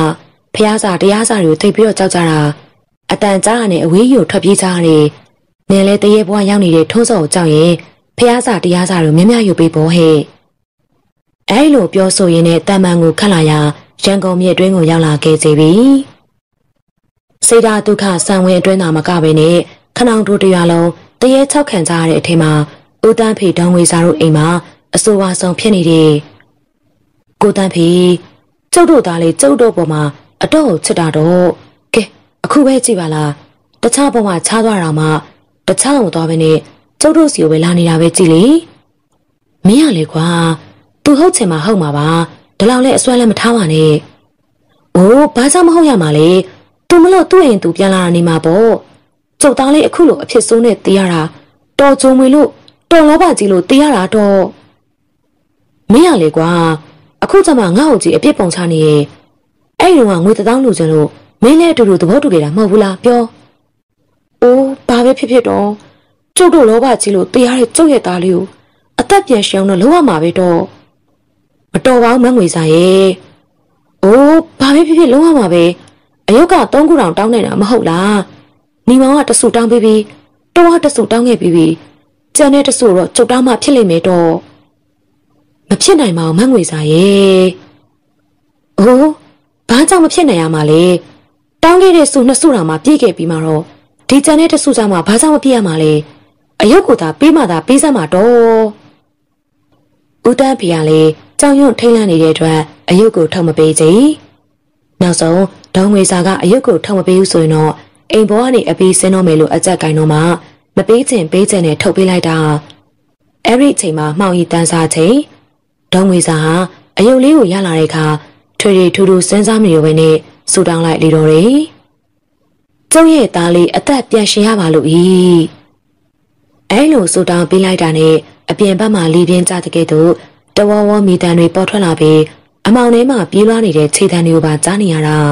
။ဒုံငွေစာမှာအဲ့ဒီအတန်ကြောင့်ကြောက်ကြောက်လန့်လန့်နဲ့လှုပ်ချလိုက်ရာလက်ထဲမှာရုပ်ကလေးအောက်ကိုပြုတ်ကျသွားလေတယ်။အတန်ကြားတဲ့ကကြားနေရတဲ့အတန်တွေပြန်လည်ငြိမ်သက်သွားတယ်။အဲ့ဒီကအတန်နေတိတ်သွားတဲ့အခါဦးတန်းဖေကကြမ်းမြင့်မော်ကျသွားတဲ့အယုတ်လေးကိုလိုက်ဆန်းကြည့်သေးရမတွေ့တော့ပြီ။ဂျုံငွေစားကတော့ဖွင့်ထားတဲ့ပရင်ပေါက်ကနေအပြင်ဘက်ကိုလှမ်းမြော်ခြင်းနေတယ်။ အပြင်မှာတော့အမောင်ရိပ်တွေရလွဲပြီးတော့တခြားထူးထူးခြားခြားဘာမှမတွေ့ရပြီ။ဒုံငွေစားမှာအချိန်တော်ကြာအောင်ရက်ကျနေပြီးဘာမှမတွေ့ရတော့မှအိတ်ခမ်းထဲကိုပြန်ဝင်လာတယ်။ဦးတန်းဖေခင်ဗျာမှာတော့အယုတ်လေးကိုပြန်မတွေ့ရသေးတာတကြောင်ဆူတောင်းပြီးတော့ဘလို့ဖြစ်လာအောင်မလဲမသိသေးသေးတာတကြောင်ကြောင့်ရှင်နေရအလုံးကြီးဆိုပြီးတော့စိုးရင်ပူပန်လျက်ရှင်နေလေတော့တယ်။ညနေပိုင်းရောက်တော့မှမိကနေအိပ်ပျော်သွားတဲ့ကဲ့သို့ရှိတယ်။အဲရီခိုင်မှာပဲထူးခြားတဲ့မြင်ကွင်းတစ်ချုပ်ကိုတွေ့ရတယ်။ ဒုံငွေစာကအယုတ်ကလေးကိုလက်ထဲမှာကိုင်မြဆူတောင်းနေပုံသူဆူတောင်းပြရတဲ့အမောင်ထဲမှာပြေးရနေတဲ့မင်းမဲတရံတွေကိုတွေ့ရတယ်။အဲ့ဒီတရံတွေကိုအသေးချာကြည့်တဲ့အခါလူမဟုတ်ဖ ೇನೆ တစေတရေတွေဖြစ်နေတာကိုတွေ့ရတာ။၎င်းတို့မှာတုတ်တန်ရှိရာဘက်ကိုပြေးသွားကြခြင်းဖြစ်တယ်။တုတ်တန်ကိုရောက်တဲ့အခါမကြသေးမီယာမြုပ်ထားတဲ့မြေပုံတစ်ခုနီးမှာဝိုင်းကြည့်နေကြတယ်။တုတ်တန်အတွင်းမှာဒေါငွေဆန်ရဲ့ဆူတောင်းတန်တွေကပြန်လွှင့်လျက်ရှင်နေတယ်။ မကောင်းဆိုးဝါးတွေဝိုင်းကြည့်နေတဲ့မြေပုံမှာတခြားမဟုတ်ဘူး။ထုံးစော်ရဲ့မြေပုံဒေါငွေစာရဲ့ဆူတောင်းတန်တွေကအဲ့ဒီနေရာကိုရောက်လာပြီးပဲ့ထက်ထက်တန်တွေနဲ့လှိုင်းထားနေရထုံးစော်မြေပုံမှာတဖြည်းဖြည်းနဲ့ပွားတက်လာတယ်။ဦးတန်းဖေမှာအိမ်မက်လိုလိုနဲ့အဲ့ဒီမြင်ကွင်းကိုမြင်တွေ့နေရတယ်။အတန်ကြတော့မြေပုံကမောက်တက်လာအတွင်းကလက်တစ်ဖက်ထွက်လာပြီးတော့မြေသားတွေကနဘေးကိုရက်လိုက်တယ်မြေသားတွေမရှိတာနဲ့အတွင်းမှာအလောင်းကောင်ကထထိုင်လာလေတယ်၎ င်းမှာဆန်ဆက်သေးပါသွားပြီးတော့ရုပ်ပြက်ဆင်းပြက်ဖြစ်နေတဲ့ထုံးစော်ရဲ့အလောင်းပင်ဖြစ်တဲ့တာသမီပင်ဖြစ်တော့လေမျက်နှာတစ်ခုလုံးကျင်းမွားနေပြီးခြေလက်အဆက်တွေပြုတ်ထွက်နေတဲ့ထုံးစော်ရဲ့ပုံမှန်တရံကိုမြင်တဲ့အခါဦးတန်းဖေမှာများစွာတုံ့လုံသွားတယ်။ထုံးစော်တစ်ခုလုံးမှာပုတ်ပွားနေပြီဖြစ်တဲ့အတွက်အပုံနဲ့နေရာလေးထွက်နေကြပြီ။အဲဒီနောက်မြေပုံအတွင်းမှာအလောင်းပြင်ကိုထွက်လာတယ်။အဲဒီအချိန်မှာပဲဦးတန်းဖေမှာစောက်တရားမရအောင်ကြောက်လန့်ပြီးဖြစ်လို့ တကူလုံးတဆတ်ဆတ်တုံနေတော့တယ်။ထုံးစော်က၎င်းရှိအောင်လှမ်းကြည့်ပြီးတော့လာပါလာပါဆိုတဲ့အမူအရာနဲ့လက်ရက်ပြီးတော့ခေါ်နေတာအဲ့ဒီခါမှပဲဦးတန်းဖေမှာအဲ့ဒီနေရာမှာရက်မနေဝင်တော့တဲ့အတွက်အိမ်ဘက်ကိုပြန်ပြေးခဲ့တော့တယ်အသက်ဝင်နေတဲ့အလောင်းကောင်ဟာသူ့နောက်ကနေလိုက်လာတယ်အဲ့ဒီနေရာမှာပဲအိမ်မက်ကနေလန့်နိုးလာတယ်အလန့်တကြားထားကြည့်လိုက်တော့အချိန်တွေကအငြိမ်သက်လျက်ရှိတယ်ဒေါငွေစားတော့သူ့ရဲ့နဘေးမှာပရင်းပေါက်ကိုဖွင့်ပြီးတော့ ဂရင်ပေါ်မှာအိပ်ပျော်လျက်ရှိတယ်ဆူတောင်းပြီးတဲ့အချိန်မှစပြီးတော့တားဖြစ်သူအသက်ပြင်ရှာလာမယ့်ညအုပ်ပိုင်းတွေကိုတစ်ချိန်လုံးထိုင်ဆောင်နေရရှိပြီးအခုမှမောမောပန်းပန်းနဲ့အိပ်ပျော်သွားဟန်ရှိလေတယ်။၎င်းတို့လင်များအိတ်တဲ့ခါမှာအပေါ်တက်မှာရှိပြီးအောက်ထပ်မှာတော့လူမရှိဘဲနဲ့တကားတွေပိတ်ထားတာ။ထုံးစော်ရှိစဉ်ကနေတဲ့ခန်းမှာလေအခုတော့တကားပိတ်ထားလေတယ်။อืมငါတွေ့မြင်ခဲ့ရတာတွေကအိမ်မက်ပဲဖြစ်မှာပါ။ တည်သွားပြီးတဲ့လူတယောက်ကတော့ဘလို့မှအသက်ပြန်ရှင်လာမှာမဟုတ်တော့ပါဘူး။ဦးတန်းဖေတယောက်အဲ့လိုတွေးနေမိတာပေါ့။အိပ်ပျော်ရမှနိုးစားမှသူ့ရဲ့တကူလုံးမှလည်းချွေးစေးတွေနဲ့ရွှဲနေနေတယ်။သူအိယာပေါ်လှဲနေရင်မှပဲနားဆွဲနေတယ်။အဲ့ဒီကအဝေးစီမှာခွေးဥတန်တွေအရင်ကြားရတယ်။ခွေးဥတန်တွေမှာတုတ်တန်ရှိရာဘက်စီကိုကြားရခြင်းဖြစ်လေတယ်။ခဏကြာတော့ခွေးဥတန်တွေတဖြည်းဖြည်းနဲ့နီးလာတယ်။ဥတန်ဖေမှာခွေးဥတန်တွေကြောင့် အသေးနှလုံးကိုလက်အေးကြီးနဲ့ချင်းညင်လိုက်တဲ့ကိတော့အသက်ရှူမွားအောင်ဖြစ်သွားတယ်။နားဆွဲနေရင်မှပဲဆန်ဆက်ဝင်းအတွင်းကနေဝူဝါဝါခွေးရောင်တန်တွေပေါ်ထွက်လာတယ်။ဆန်ဆက်ပိတ်ထားတဲ့ချိန်ဖြစ်တဲ့အတွက်ဆန်ဆက်တဝင်းလုံးမဲမောင်လေးရှိပြီးလူသွားလူလာလည်းမရှိပြီ။ခွေးရောင်တန်တွေစူညံစွာပေါ်ထွက်လာတဲ့အတွက်ဦးတန်းဖေကအိယာကားထဒေါံဝေစကရင်ပြီးမှပရင်ဘောက်ကိုပိတ်လိုက်တယ်။ဘာဖြစ်လို့ပိတ်တာလဲတော့။အော်မင်းတဲ့အေးနေမှာစိုးလို့ပါ။အ ပြင်မှာခွေးဟောင်တန်တွေကစူညံလိုက်လားတော့။လူသွားလူလာတွေ့လို့ဟောင်တာဖြစ်မှာပေါ့လေ။อืมကျုပ်တို့ဆူတောင်းတဲ့အတိုင်းထုံးဆောင်များအသက်ရှင်ပြီးတော့ပြန်လာလေရောသလားဘယ်နည်းနဲ့မှမဖြစ်နိုင်ပါဘူးကွာဒီလောက်လဲဆွဲလန်းမှုထောင်းနေပါနဲ့အိပ်ပြောအောင်သာအိပ်ပါအဲ့ဒီခိုင်မှာပဲတကားခောက်တန်ပေါ်ထွက်လာတယ်ဟောဘာတန်လဲကျတိုးရဲ့တန်ဖြစ်မှာပေါ့ကွာ ဒုံဝေစားမှာမကြည်မနှံ့နဲ့ဂရင်ပေါ်မှာထိုင်နေရင်းနဲ့နာဆွေနေအပြင်ဘက်မှကြားနေရတဲ့ခွေးဥတန်ခွေးအောင်တန်တွေမှာအဆက်မပြတ်ပေါ်ထွက်နေတယ်ထောက်ထောက်ထောက်ဆိုတဲ့တကားခောက်တန်ဟောတကားခောက်တန်မဟုတ်ဘူးလားမဟုတ်ပါဘူးကွာဒီချိန်ကျမှဘဲတဲ့မှလည်းလာတော့မှမထင်ဘူးအိုးဘာကြောင့်မလားမလဲညာဦးပိုင်းကကျုပ်တို့ဆူတောင်းထားတာရှိတယ်မဟုတ်လားကျုပ်သားထုံးစော်အသက်ပြန်ရှင်လာပြီးတော့အိမ်ပြန်လာတာပဲဖြစ်မှာပေါ့ကဲကဲ တကားတော့ဖွင့်ပေးလိုက်လေဟာငါမတော်ဝင်ပါဘူးအလိုလေးတော်ဟာလေးတကယ်ကိုဖခင်တယောက်လုံးနေပြီးသားသမီးပေါ်မှာအကျဉ်းသားတယောက်မရှိဘူးကိုမွေးထားတဲ့သားကိုကပြန်ကြောက်နေရတယ်လို့ဖဲဖဲဖဲတော်တော့ဝင်ကျုပ်သွားမယ်အဲ့လိုပြောဆိုပြီးဂရင်ပေါ်မှာဆင်းတဲ့အတွက်ဦးတန်းဖေကလက်ဆွဲထားရတယ်မတော်ပါနဲ့ကွာမကောင်းပါဘူးအိုးဘာကြောင့်မတော်ရမှာလဲကိုမွေးထားတဲ့သားတရားတော်ပြန်ရှင်လာတဲ့ဟာ တကားဖွင့်ပေးရမှာပေါ့အဲ့ဒီအချိန်မှာအခန်းလေးမှာထွန်ထားတဲ့ရင်းနယ်စီမီးအိမ်မှာလေရင်းနယ်စီကုံသွားတဲ့အတွက်မင်းငိမ့်နေပြီဖြစ်တဲ့အတွက်တခဲလုံးမဲမောင်နေရလေကားထိပ်ပိုင်းဟိုတော့မှမမြင်ရတော့ဘူးဟွန်းအေးတဲ့ကြကမှဒီမိရလဲနော်ဒေါငွေစာတယောက်မကြေမနက်နဲ့ရေရွလေကားထိပ်ရအောင်ဆန်းသွားတယ်ဦးတန်းဖေကတော့အခန်းထဲမှာကျန်ခဲ့ပြီးခြေတုံချတုံနဲ့ဘာလို့မှမသိအောင်ဖြစ်နေတော့တယ် ဒေါငွေစာဟာအမောင်ထဲမှာပဲလေကားတက်တွေကိုဆန်းပြီးအောက်ကိုဆန်းသွားတယ်အောက်ကိုရောက်တဲ့အခါနောက်ထပ်တကားခောက်တန်းကိုကြားပြန်နေလာပြီသားရေလာပြီအမေလာပြီသားရေအဲ့လိုလေလှမ်းအောင်လိုက်သေးတယ်အပေါ်မှာရှိနေစဉ်ကဘလို့မှမထိုးကြတော့လေအောက်ထပ်ကိုရောက်တဲ့အခါအပုံနဲ့တွေကလှိုင်တက်နေတယ်သို့တော်တောင်ဝေစားမှာဇောကတ်နေတဲ့အတွက်မကြောက်မရွံ့မဲနဲ့အောက်ကိုဆင်းသွားတာလေကောင်အောက်ကိုရောက်တဲ့အခါ ဒကမာကြီးရှိရာဘက်ကိုတဖြည်းဖြည်းဆန်းသွားတယ်တကယ်ကြအနည်းကိုရောက်တဲ့အခါအပုံနဲ့တွေကပို့ပြီးတော့များလာတယ်တကားသားရောက်ပြီးတော့အောက်ချက်ကိုဖြုတ်လိုက်ပြီးအပေါ်ချက်ကိုဖြုတ်တော်လဲမမီပြီအဲရီခိုင်မှာပဲဦးတန်းဖေကအနည်းကိုရောက်လာတယ်မငွေစာမလုံနဲ့တကားမဖွင့်ပါနဲ့အိမ်ထဲကိုပြန်လာပါကွာ။အိုးမလာနိုင်ပါဘူး။အပေါ်ချက်ကိုသာဖွင့်ပေးစမ်းပါတော့။ဦးတန်းဖေကအမျိုးမျိုးတောင်းပန်တော့လေဒေါငွေစာကဆွတ်တို့ပြီး တကားချက်ကိုခြေပြားထောက်ပြီးတော့ဖွင့်နေရနောက်ဆုံးမတက်တာတော့ဘဲနဲ့တကားအပေါ်ချက်ကိုဦးတန်းဖေကဖွင့်ပေးလိုက်တယ်။ကြောက်ကနေမိတန်တဲ့တူတကယ်ရွက်နှစ်ချက်ကကြွေကနေပွင့်သွားတယ်။တကားနှစ်ချက်ပွင့်သွားတာနဲ့အပုံလန်းတွေကအိမ်ထဲကိုလုံးပြီးတော့ဝင်လာတယ်။အမေအတန်အောအောကြီးကိုအရင်ကြားလိုက်ရပြီးတဲ့နောက်အမောင်ထဲမှတရံတစ်ခုထွက်လာတယ်။ရုပ်ပြက်ဆန်ပြက်ဖြစ်နေတဲ့ထုံးစော်ရဲ့အလောင်းပဲဖြစ်တယ်။အမေ ကျွန်တော်ပြန်လာပြီလေ။အမလေးဘလူဟာကြီးလဲတော့အဲလိုအော်ဟစ်ပြီးတော့ဒေါငွေစာတယောက်ပုံလျက်သားလဲကျသွားလေတော့တယ်။အဲရိကနောက်ဘက်နာမှာရက်နေတဲ့ဦးတန်းဖေလေဇနီးဖြစ်သူကိုအကူအညီပေးနိုင်တော့ဘဲနဲ့ဘေးလွတ်ရာသို့ထွက်ပြေးတယ်။ကဲကြပါအောင်ဗျိုးကဲကြပါအောင်ခဏကြာတော့ရွာတွေကလူတွေရောက်လာတယ်။ဘာဖြစ်တာလဲဘာဖြစ်တာလဲ ဦးတန်းဖေနဲ့တွေ့ပြီးတော့မေးတဲ့အခါအကျိုးအကြောင်းကိုသိရလေတော့တယ်။မန်းငွေစာသူ့တောင်အသက်ပြန်ရှင်ပါစေလို့ဆုတောင်းလိုက်တာ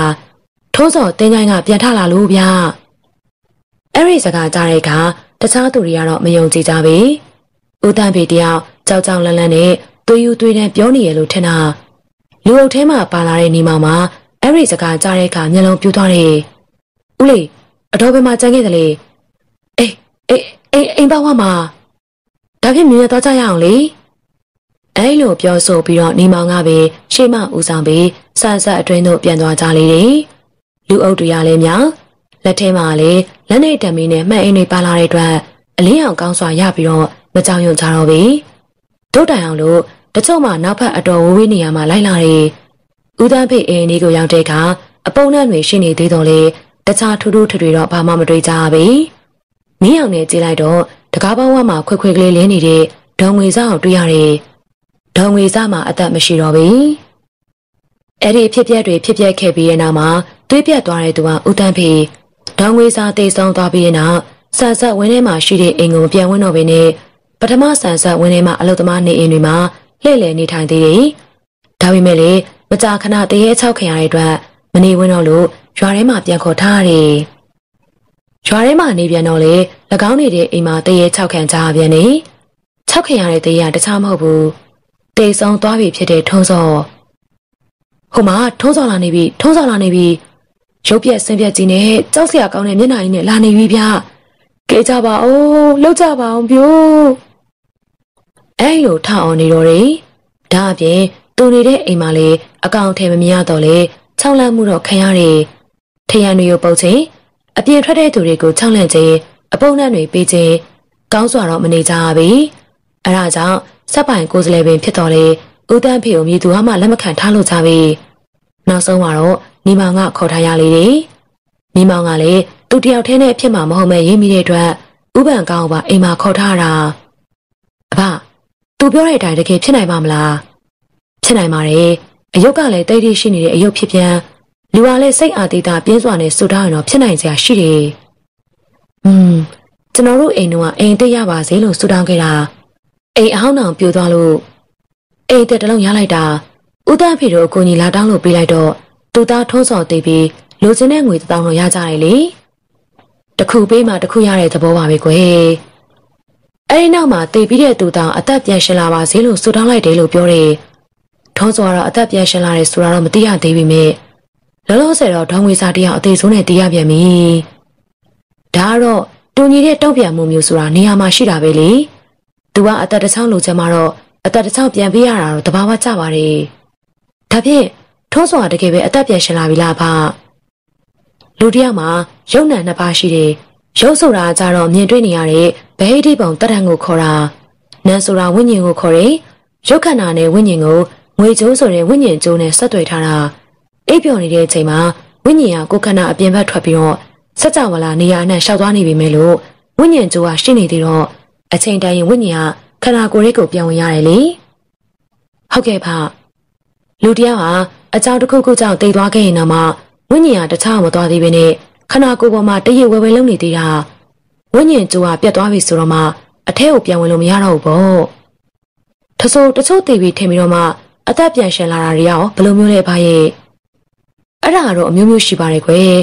တချို့ကဝိညာဉ်ကြုံမပြတ်သေးပဲနဲ့ရက်အကြာကြီးမိမျောနေတာကိုသိပြီလို့ထင်တာလည်းဖြစ်နိုင်နေ။อืมတချို့ကကြပြန်တော့လေဝိညာဉ်ကခန္ဓာကိုယ်အနီးပါးမှာရှိနေတော့တကိုးသိသိရှိတဲ့သူတဦးကပြန်သွင်းပေးလို့အသက်ပြန်ရှင်လာတာမျိုးလည်းရှိတယ်။ဝိညာဉ်ကြိုးပြတ်သွားပြီမဲ့ဝိညာဉ်ကခန္ဓာဟောင်းနာမှာ၃ရက်ကြာရှိနေသေးတယ်လေ။၃ရက်ကျော်တော့မှတခြားနေရာထွက်ခွာသွားတာမျိုးရှိတယ်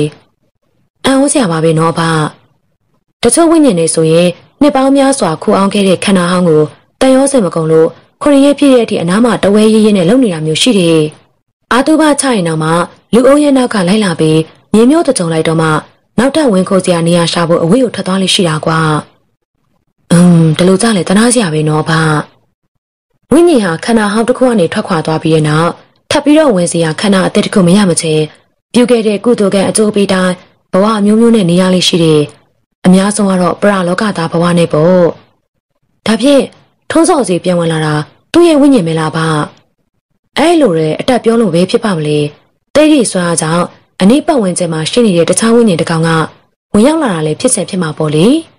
။ဒါဖြင့်ထုံးစော်တီတာကြပြီဆိုတော့ရုပ်ပြက်ဆင်းပြက်ဖြစ်နေလာတော့ပေါ့နော်။ရုပ်ပြက်ဆင်းပြက်ကတော့စက်ထိန်ညက်ပါသွားကြရဖြစ်နေတာပဲလေ။အခုတော့ဘယ်ပြောစရာရှိတော့ပါမလဲကွယ်။ ဒါဖြင့်ကြောက်စရာကြီးဖြစ်နေမှာပေါ့။ကျွန်တော်တို့အခုထိမမြင်ရသေးဘူး။อืมကျန်တဲ့သူတွေကတော့တော်ရုံနဲ့မြင်ရမှာမဟုတ်ဘူး။တက်ဆိုင်တဲ့သူတွေပဲမြင်ရမှာ။အခုဆိုရင်တော့ဦးသားဖေတယောက်ပဲမြင်ရမှာပေါ့။อืมဒီတိုင်းတာဆိုရင်တော့ဦးသားဖေလေတက်ဆိုးရှိမယ်မထင်ပါဘူးဗျာ။ဘယ်လိုလုပ်ရင်ကောင်းမလဲဘာရဲ့။အကောင်းဆုံးကတော့မင်းပေးလိုက်တဲ့ရုပ်ထုဘယ်မလဲဆိုတာအဲ့ဒါအရင်ရှာကြည့်ကြရင်ကောင်းလိမ့်မယ်။ရုပ်ထုကိုပြန်တွေးခဲ့ရင်တော့မှ တောင်းတဲ့ဆိုက၃ခုပြေးသွားပြီဆိုတော့နောက်ထပ်ဆူတောင်းလို့မရတော့ဘူးလေဗျ။အဲ့ဒါအရင်မကြည့်ပါဘူးကွာ။ရုပ်ထုကိုပြန်တွေးရင်ပျောက်သွားတဲ့အဖို့တိုင်တယ်ပြီးတော့ပြန်ခွာမှာပေါ့။သူရောက်လာတော့မှဒီကိစ္စနိုင်ပါလေအဲလိုပြောတဲ့အတွက်နှစ်ယောက်သားတိုင်ပင်ပြီးဦးတန်းဖေကိုမေးကြည့်ရာဒေါငွေစာတိတ်ဆုံးတဲ့ညကအိမ်ပေါ်မှာကြံခဲ့ကြောင်းပြောတယ်ဒါဖြင့်အယုတ်ကအိမ်ပေါ်မှာကြံခဲ့တယ်ပေါ့ဟုတ်လားဟုတ်ပါတယ်တခြားလူတယောက်ရမတွေ့ခဲ့ဘူးဆိုရင်တော့ အိမ်ပေါ်မှာပဲရှိလိမ့်မယ်လို့ထင်နေဒေါငွေစာရဲ့အလောင်းကိုချက်ချင်းတကြိုလိုက်ကြပြီးတော့အိမ်မှာလေဖဲဝိုင်းကဝိုင်းမလုပ်တဲ့အတွက်တွေ့ကောင်းတွေ့နိုင်တယ်လို့တွေးမိတယ်သို့တော်လေဒီရုပ်ကြောင့်လူတွေတေကြတာဆိုတော့လူတွေမသိတာပိုကောင်းလိမ့်မယ်ဒီတော့မင်းနဲ့ငါနဲ့ညမောင်တော့မှတွားရှာကြရင်မကောင်းဘူးလားအဲလိုဥပန်ကောင်းကပြောရနီမောင်မမငြင်းတာတော့ပြီအဲလိုနဲ့နောက်တနေ့ညောင်ပိုင်းအချိန်လောက်မှာ နှစ်ယောက်သားဦးတန်းဖေနေအိမ်ကိုတက်တစိတ်သွားကြတယ်ဆန်ဆက်မှာပိတ်ထားတဲ့အတွက်ဆန်ဆက်ဝင်းတစ်ခုလုံးတိတ်ဆိတ်ငြိမ်သက်လျက်ရှိနေတယ်သူတို့နေရာမှာလူမြင်မှာဆိုတဲ့အတွက်ဝင်ပေါင်လန်းရှိတဲ့အလုပ်သမားတရားဘက်တွေရှိရာဘက်ကနေမဝင်ကြဘဲနဲ့ဘွိုင်လာအိုနောက်ဘက်ကနေလှည့်ပြီးတော့ဝင်ကြရလေတယ်။စက်ခန်းနဲ့နေတဲ့နေရာကိုရောက်တဲ့အခါစက်ကောင်းထိုင်ကုန်ပြီးမှမဲမဲတရံတစ်ခုထွက်လာတယ်။နေမောင်ကလမ်းရိပ်တံမင်းနဲ့ထိုးကြည့်ရန်ပြင်လိုက်တာနဲ့ ဥပန်ကောင်းကလေတံတူးတူးလေးနဲ့ပြောတယ်။နေပါစေတဲ့။သူတို့နှစ်ယောက်ရက်နေတဲ့မဲမဲတရံကလည်းရက်တန်းနေတယ်။ခဏကြာတော့မှစက်ကောင်းထိုင်ကုန်ဘေးကနေထွက်လာပြီးမေယုံတွင်းကိုကူးဝင်သွားတာ။အဲရိခါကြမှာနှစ်ဦးသာမောင်ရိတ်ကနေကဦးတန်းဖေအိမ်ရှိအောင်လာခဲ့တယ်။ညဆောင်ကလာထနေမဟုတ်နိုင်ဘူးညဆောင်ကလာဆိုရင်ငါတို့လက်မြင့်နေရပဲလှမ်းမိမှာပေါ့ကွာ။အဲ့ဒီစကားကြားတဲ့အခါမိမောက်စိတ်ထဲမှာစိတ်နဲ့ဖြစ်သွားမိတယ်။ သို့တော်လေဥပန်ကောင်းမှာပါတဲ့အတွက်ကြောင်ရွံ့ထိတ်လန့်ကြံတော်ဖြစ်မိပြီ။ဦးတန်းဖေရဲ့အိမ်မှာစံနဲ့မနီမဝေချောင်းစံနာမှာရှိတယ်။ခြေတန်းရှည်နှစ်ထပ်အိမ်ဖြစ်ပြီးတော့ပတ်ဝန်းကျင်တစ်ဝိုင်းမှာတခြားအလုပ်သမားတရားတွေမရှိဘဲနဲ့လမှုပင်တွေသာရှိလေတယ်။သူတို့နေရောက်အိမ်လေးရှိအောင်ရှောင်းလာကြစေမေယုံတွင်မဲမဲတရံတကောင်ကထွက်လာပြန်နေ။အဝတ်တစ်ခုကိုကားမော်မှာခြုံထားတဲ့မဲမဲတရံကစဝန်းတွေးကနေဖြတ်ပြီးအိမ်ဘက်ကိုရှောက်သွားတယ်။ အဲ့ဒီခိုင်မှာပဲစဝန်းထဲမှာရှိကြတဲ့ခွေးတချို့ကစူစူဝါဝါဟောင်လိုက်တယ်။အိမ်ပေါင်းဝရောက်တဲ့အခါတကားဖွင့်ပြီးတော့အထက်ကိုဝင်သွားလိတော့တယ်။ဒေါငွေစာနဲ့ထုံးစော်တို့နှစ်ယောက်ကတိတ်ဆုံးသွားပြီးတော့ဦးတန်းဖေတယောက်သာကျန်ခဲ့ရအခုဦးတန်းဖေကလေညီမောင်တို့အိမ်မှာရောက်နေတာဒါဆိုအခုအိမ်တကားကိုဖွင့်ဝင်သွားတာကိုလေတွေးလိုက်ရတယ်ဘသူဖြစ်မလဲဖอืมဒီအိမ်နဲ့ပတ်သက်တဲ့သူတရားရောက်တော့ဖြစ်မှာပေါ့ကွာ မဲမဲတဲ့အတွင်းကိုဝင်သွားတဲ့အခါအချိန်ကြီးလည်းပြန်လဲငြိမ်သက်သွားလေတယ်အဲဒါကြောင့်နှစ်ယောက်သာအိမ်ဘက်ကိုရှောင်းလာကြတယ်ညီမောင်ကလက်ထဲမှာကင်ထားတဲ့လက်နဲ့တံမီနဲ့ဓာတ်ကိုခတ်တင်းနဲ့စုပ်ကင်ထားတယ်တကားပေါဝါနာရောက်တဲ့အခါမီးအောင်နဲ့ထိုးကြည့်လိုက်ရာငဝင်ပေါက်တကားမှတော့ခတ်ပြီးတော့ခတ်ထားလိုက်တယ်။အဲဒီနောက်ထွေထွေထူထူစမ်းစားမိတော့ပဲနဲ့ဦးတန်းဖေထံမှာယူလာတဲ့တော့နဲ့ဖွင့်လိုက်ရာတကားကိုတွန်းဖွင့်လိုက်ရာအိမ်ထဲမှာမီးအောင်မရှိတဲ့အတွက်မှောင်နေတယ်။အတွင်းဘက်အလေတိုင်းနေရာလောက်မှာ မဲမဲတရံတယောက်ကထိုင်နေတာအလေတိုင်းကိုမှီပြီးတော့စေးဘောလေးထိုင်ဖွာနေတဲ့ဖြစ်ဟန်ရှိတယ်။မီးရဲရဲကိုလှမ်းမြင်နေရတယ်။ဒေါငွေစာအယုတ်လွတ်ကျသွားတဲ့နေရာမှာအိမ်ရှိတကားပေါက်အနီးမှာဖြစ်တဲ့အတွက်ဦးတန်းဖေထံမှာတည်ကြရလေတယ်။မိမောင်ကကျမ်းမြင့်ပေါ်မီးအောင်နဲ့ထိုးချိလိုက်တဲ့ကျမ်းမြင့်ပေါ်မှာဖုန်တွေတလေးလေးတက်နေတရားလွဲပြီးတော့ဘာမှမတွေ့ရပြီ။စိတ်မကြည်တဲ့အတွက်တခြားနေရာကိုလိုက်ကြည့်တယ်။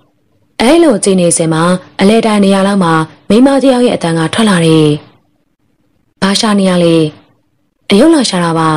။ဒီလောက်ကြုံမွေတဲ့ရုပ်ကိုဘာလို့ဖို့လဲ။ပိုင်ရှင်ကိုပြန်ပေးရမှာမလို့လာရှာတာပါဗျ။အယုတ်ကငါရှိမှချထားတယ်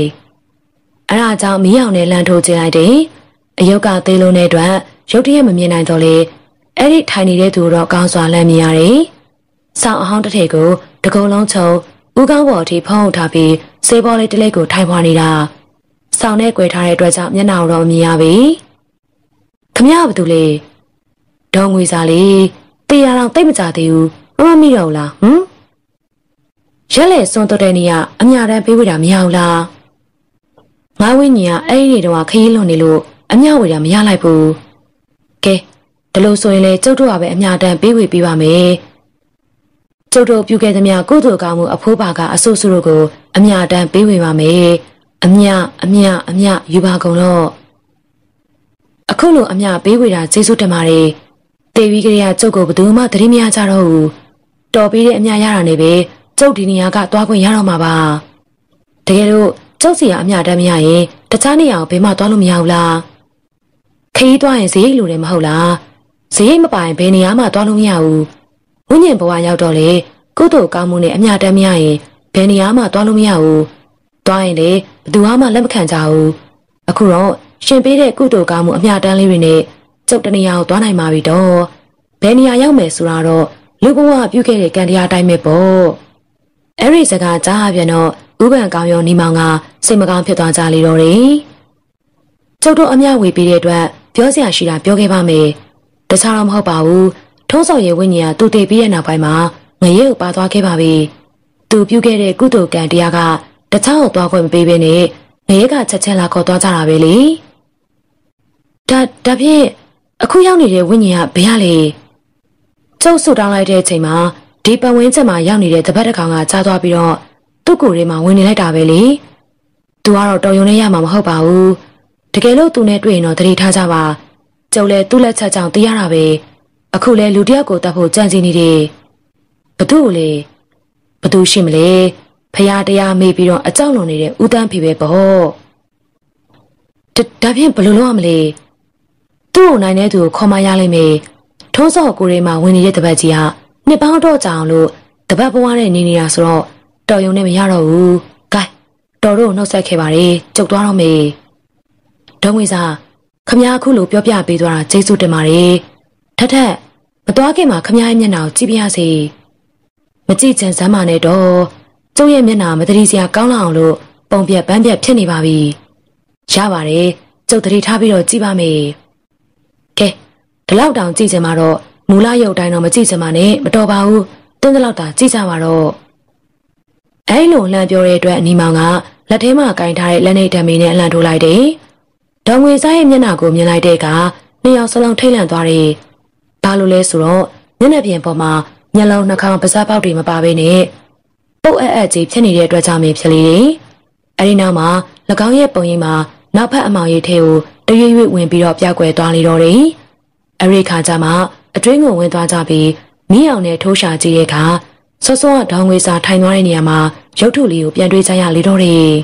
။ရုပ်ထုလေးကိုပြင်ရတဲ့ခါမှာနှစ်ယောက်သားပြန်ခဲ့တယ်။ဒေါငွေစာပြောသွားတဲ့အတိုင်းဆိုရင်တော့ ဦးတန်းဖေတယောက်အန်ရကြားရောက်တော့မဲ့နမိတ်လက္ခဏာရှိသေးပြီ။အိမ်ကိုပြန်ရောက်တဲ့အခါတကောင်းရဲ့အချိန်ကိုရောက်နေပြီ။သူတို့ပြန်သွားတဲ့အချိန်မှာဦးပါရှင်နဲ့ဒေါ်ကျင်မေတို့ကထိုင်ဆောင်နေအောင်တွေ့ရတယ်။အဖေ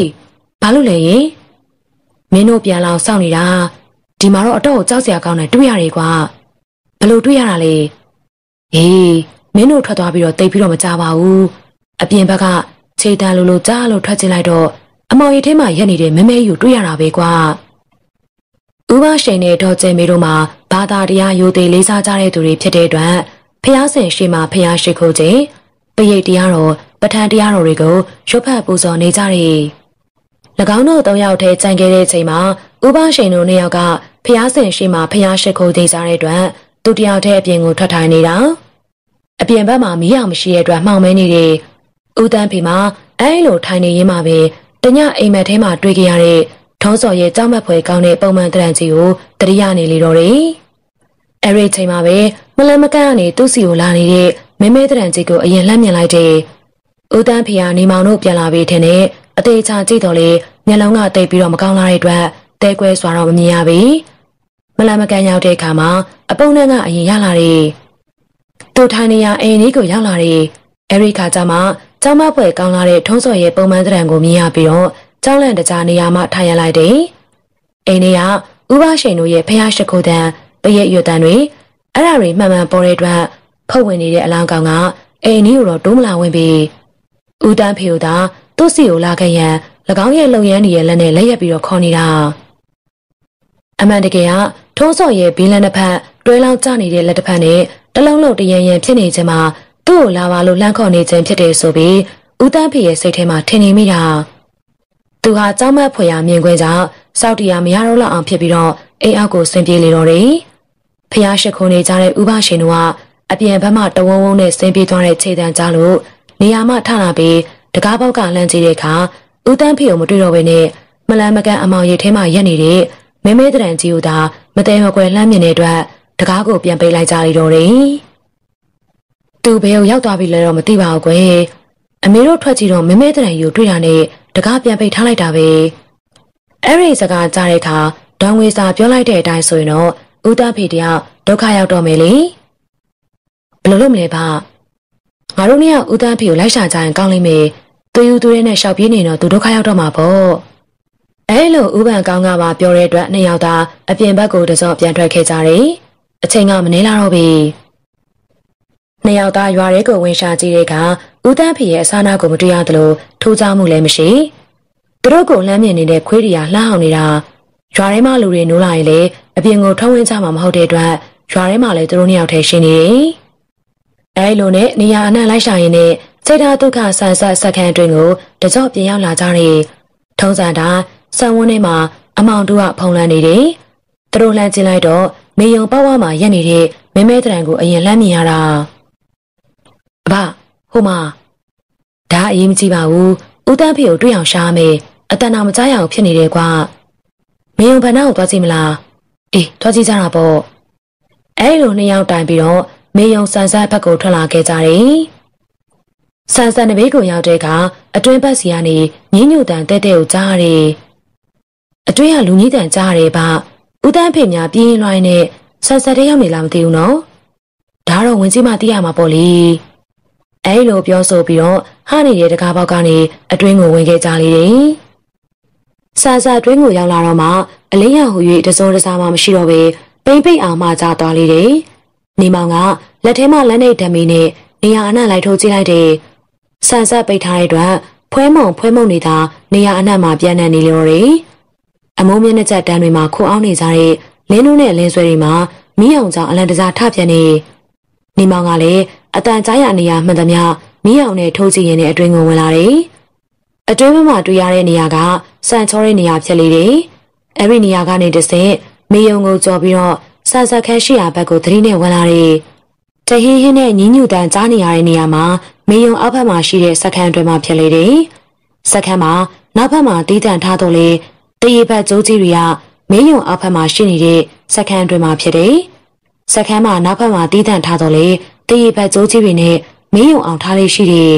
။၎င်းတရေဘက်ကျိုးကြီးတွေကြားနေညက်ပါသွားတဲ့အတွက်ထုံးစော်တိတ်ဆုံးခဲ့ရခြင်းဖြစ်တယ်။အခုအဲ့ဒီနေရာရောက်တော့အင်ဂျင်နီယာအတွင်းမှာစံနိုးတန်လိုလိုကြားလိုက်ရပြီးဥစွာမီးလုံးတွေပွင့်လာတယ်။မိမောင်တို့မှာအံ့ဩဖွယ်ကောင်းတဲ့အခြေအနေတွေကြောင့်များစွာထိတ်လန့်သွားကြတယ်။စကမ်းမှာနောက်ဖက်မှာတည်တံ့ထားတော့လေတရေဘက်ကျိုးကြီးတွေကမေယုံအောက်မှာရှိနေတယ်။အဲ့ဒီတရေဘက်ကျိုးကြီးတွေကြားနေညက်ပါသွားတဲ့အတွက် ထုံးစော်တည်ခဲ့ရခြင်းဖြစ်တယ်။အဲ့ဒီနေရာရောက်တော့အင်ဂျင်ကန်တွင်မှအင်ဂျင်ဆန်နိုးလည်းတယ်လို့ကြားပြီးတော့ဥစွာမီးလုံးတွေလင်းလာတယ်နေမောင်တို့မှအံ့ဩဖွယ်ကောင်းတဲ့အချိန်တွေကြောင့်ညားစွာထိတ်လန့်သွားကြတယ်နှစ်ယောက်သားအနည်းကိုသွားကြည့်တဲ့အခါဦးတန်းဖေမှာဇလားလုံးတစ်ခုကြားထဲမှာမတက်အနေထားနဲ့တိတ်ဆုံနေလေပြီ၎င်းမှမသိမီရကြောင်ရုံထိတ်လန့်ပွဲတစ်ခုခုကိုတွေ့မြင်ရတဲ့မျက်လုံးပြုတ်ထက်နေပြီးမျက်နှာမှာရုပ်ပြက်စင်းပြဖြစ်နေတယ်ဒီမောင်နဲ့ဥပန်ကောင်းတို့က ဦးတန်းဖေကိုဇလားနှစ်ခုကြားမှာဆွဲထုတ်ရန်ကြိုးစားတယ်အဲ့ဒီခိုင်မှာပင်နောက်ဖက်စက္ကန့်တွေ့ရနေစက်တန်တဖြည်းဖြည်းနဲ့ကျလောင်လာပြီးစက်ကြိုးတွေကလည်းလက်ပတ်စားပြူလာပြီးသူတို့ရောက်နေတဲ့နေရာမှာတရေဘတ်ကျိုးနှစ်ခုကြားမှာဖြစ်တဲ့တရေဘတ်ကျိုးတွေကအရှိန်နဲ့လက်ပတ်လာပြီးဖြစ်တဲ့အတွက်ဦးတန်းဖေအလားမှာဆွဲထုတ်ရမရတော့ပါဘူးအရှိန်နဲ့ညက်ပါသွားနေတော့တယ်အဲ့ဒါထက်တရေဘတ်ကျိုးတွေကအရှိန်နဲ့လဲနေပြီးဖြစ်တဲ့အတွက်အတွင်းကိုရောက်နေတဲ့နေမောင်တို့နှစ်ယောက်မှလည်းအပြင်ပြန်ထွက်လို့မရတော့ဘူး အဘဆက်ကပိတ်ထားတာစက်ခင်းလေးမှာလူလည်းမရှိဘဲနဲ့ဘာကြောင့်ဆက်ကလင်းနေရတာလဲဗျာထုံးစော်ရောက်နေလို့သာဖြစ်မှာပေါ့ဥပန်ကောင်ကအလွယ်တကူပြောလိုက်တယ်အတန်ကြာတော့နှာခေါင်းထဲမှာအပုံနှံကဝင်လာတယ်လန့်ကြည့်လိုက်တဲ့အခါစက်ခန်းထဲမှာလူတယောက်ထွက်လာတယ်ထုံးစော်ဝင်ဖြစ်တယ်သို့တော့မူလာရုပ်တော့မသိတော့ဘူးမျက်နာကဖောင်းရင်းနေပြီးမျက်လုံးကအပြင်ကိုဆူထွက်နေပါတယ်ပါဇက်ကရွယ်ဆောင်နေပြီးတော့ အထဲမှာသွားရရတဲ့အပြင်ကိုခေါ်ထွက်နေရတာဖောက်ဝင်နေတဲ့အလောင်းကနေမောင်ရှိရာမေယုံခမ်းဘက်ကိုရှောင်းလာတယ်။နင်းနာလေးလေးအပုံနဲ့ကများလာလေးလေးဖြစ်တဲ့မလန်မကန်ရောက်လာတော့အတန်အောအောကြီးနဲ့ထပ်ပြောလိတော့တယ်။မင်းကြောင့်ငါသေးရတာမင်းတို့လည်းငါသေးသလိုတရားစီမေ။နေမောင်ကဘာမှပြန်မပြောဘဲနဲ့လက်ထဲမှာပါလာတဲ့ရုပ်ထုလေးကိုကြက်ကြက်ပအောင်စုပ်ကင်ထားပြီးတော့ရသမျှပေးတော်ရီကိုသာရွတ်ဆိုနေလေ။တကယ်လို့ ဖောက်ဝင်နေတဲ့အလောင်းကအတွင်းကိုဝင်လာပါကသူတို့နှစ်ယောက်အတွက်ပြေးပြီးမရတော့ဘူး။တဝီဝီလည်နေတဲ့တရေဘက်ကျိုးနှစ်ခုကြားကအပြင်ထွက်ဖို့အတွက်ဘလို့နီးနဲ့မှဖြစ်နိုင်ပြီ။ဖောက်ဝင်နေတဲ့အလောင်းကလေတရေဘက်ကျိုးကိုကြော်လာအတင်းကိုပြင်းပြင်ဆင်လေတော့တယ်။နေမောင်တို့မှလည်းပရိတ်တရားတော်တွေကိုရွတ်ဖက်တဲ့စေုံကလွဲပြီးတော့တခြားမတန်နိုင်ကြတော့ဘူး။အဲဒီခိုင်မှာပဲအလင်းကောင်တွေထွက်လာပြီးဝင်ဖို့အတွက်တရေကျိုးပေါ်အိမ်မှာခြေတစ်ဖက်လှမ်းကြော်လိုက်တယ်။ ပထမကပုံမှန်အတိုင်းရှိနေတဲ့အလောင်းမှာအပေါ်မှာခွာကြော်လိုက်တဲ့အခါခြေထောက်ကအရှိကြီးဖြစ်သွားတယ်။ခြေတစ်ဖက်လမ်းကျုံရန်ဟန်တင်လိုက်စမှာနောက်ဘက်ကနေအတန်တသက်ပေါ်လာတယ်။ဟဲ့ကိုမြာကိုပြင်မတော့လား။အဲ့ဒီအတန်ကြားရတာနဲ့ရှေ့ထွက်နေတဲ့ခြေထောက်ကပြန်တိုးဝင်သွားရာစက်နဲ့မလွတ်တော့ဘဲနဲ့ညက်ပါသွားလိတော့တယ်။အလောင်းကောင်ဆက်တဲ့ညက်ပါသွားတာနဲ့ဆန်ဆက်လဲထိုးရက်သွားနေတော့တယ်။ဆက်ရက်တာနဲ့မီးလုံးတွေကပြန်လဲမိတ်သွားလိတော့တယ်။မီးအောင်မရှိတော့တဲ့ စဝန်းတစ်ခုလုံးမှောင်သွားလိတော့တယ်။သို့တော့အပေါင်းနဲ့နေရတော့ရှိနေသေးလေးတွေညီမောင်ကလက်နဲ့တမီနဲ့ထိုးကြည့်လိုက်တဲ့အခါကျမ်းမြင့်ပေါ်မှာအပိုင်းပိုင်းအပြက်ပြက်တစားစီဖြစ်နေတဲ့ထုံးစော်ရဲ့အလောင်းနဲ့တူဆက်ညက်တဲ့အတွက်ရုပ်ပြက်ဆင်းမြက်ဖြစ်နေတဲ့ဦးတန်းဖေရဲ့အလောင်းတွေကိုစိတ်မကောင်းစွာတွေ့မြင်ရတယ်။အဲရီခိုင်မှာပဲနောက်ဖက်မှလူတယောက်ထွက်လာတယ်။လွယ်အိမ်ဟောင်းတစ်လုံးကိုလွှဲပြီးတော့တောင်ဝေးတစ်ချောင်းနဲ့ခီးသွားနေတဲ့အဖိုး။ဟမ်အဖ ဘယ်ရောက်လာတာလဲဟင်အဖငါမီးကိုကိုကြီးဆောက်ရှောက်ပြီးဖို့ပြန်လာခဲ့ရတာပေါ့ကွယ်ဒီကလူတွေကသူတို့ရဲ့လောဘစိတ်တွေကသူတို့ကိုပြန်တတ်တာနဲ့မိသားစုအလုံးတည်ခဲ့ကြပြီးပြီအခုတော့အလုံးပြီးသွားပါပြီကျွန်တော်လည်းစိတ်မကောင်းပါဘူးဗျာရေသူတို့တက်ဘာကုသိုလ်လုပ်ပြရမလဲကုသိုလ်ကောင်းမှုလုပ်ပြီးတော့အမြအတမ်းပေးဝေလိုက်ပါကွယ်ကိုပေးတဲ့အမြရတော့လေတင်းတဲ့နေရာတွေရောက်ကြမှာအရေးကြီးတာကငါမြေးစီမှာရှိနေတဲ့ရုပ်ထုလေးကို အဝတ်နဲ့ပတ်ပြီးတော့ငပြောဖောင်မော်တင်ပြီးတော့ပင်လယ်ဝါးကနေမျောချပေးလိုက်ပါလားကွယ်စိတ်ချပါဖကျွန်တော်လုပ်ပါမယ်ကျွန်တော်တို့လာပြီးတော့ကိုကြီးပေးတာကျေးဇူးတင်ပါတယ်အဘကိုကြောပြစေဗျအဲ့လိုပြောပြီးတော့ဥပန်ကောင်းတဲ့နေမောင်တို့နှစ်ယောက်ထိုင်ပြီးကြောလိုက်ကြတယ်ကြောနေစဉ်ပထမတော့စူပေးတန်လိုလိုကြားနေရပြီးမော့ကြည့်တဲ့အခါအဖိုးကိုမတွေ့ရတော့ပြီသူတို့အတွက်ကတော့ထွေထူးထူးအံ့ဩမှုမဖြစ်မိကြတော့ပါဘူး နောက်တနေ့မနက်စောစောအချိန်မှာနီမောင်တယောက်တည်းစိတ်ကမ်းမှတမ်းမှန်ပြနေစဉ်ခမီရီဆန်းလာတယ်နီမောင်ကဘဲဥတောင်ကျဲဥတောင်တွေကိုထမ်းချပေးတယ်အချိန်ကအာယုံတက်ချိန်စိတ်ကမ်းမှထွက်လာတဲ့အခါခမီရီကပြောတယ်မနေ့ကသတင်းကြတာငါဖြင့်ကြောက်လိုက်တာနီမောင်ရေနေတော့တာတခုခုဖြစ်သွားရင်တော့အခက်ဖေးဟဲ့ငါတခုခုဖြစ်သွားရင်နင့်ကိုတမန်ခတ်ပြီးတော့ပို့ပေးမဲ့သူမရှိမှစိုးလို့လားအဲ့တော့လေတခြားတမန်နဲ့တွားပေါ်ဟာ ဟဲနင်ကလေနင့်အတွက်တကယ်စိုးရင်လို့ပြောတာပါဒါပေမဲ့အခုဖြစ်ပျက်တွေကအတော့ကိုထူးဆန်းတာပဲနော်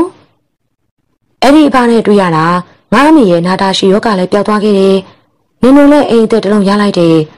ထုံးစော်လုံးမိသားစု၃ယောက်စလုံးအသေးစိုးနဲ့တေးကြရတာတော့စိတ်မကောင်းစရာပဲပေါ့လေ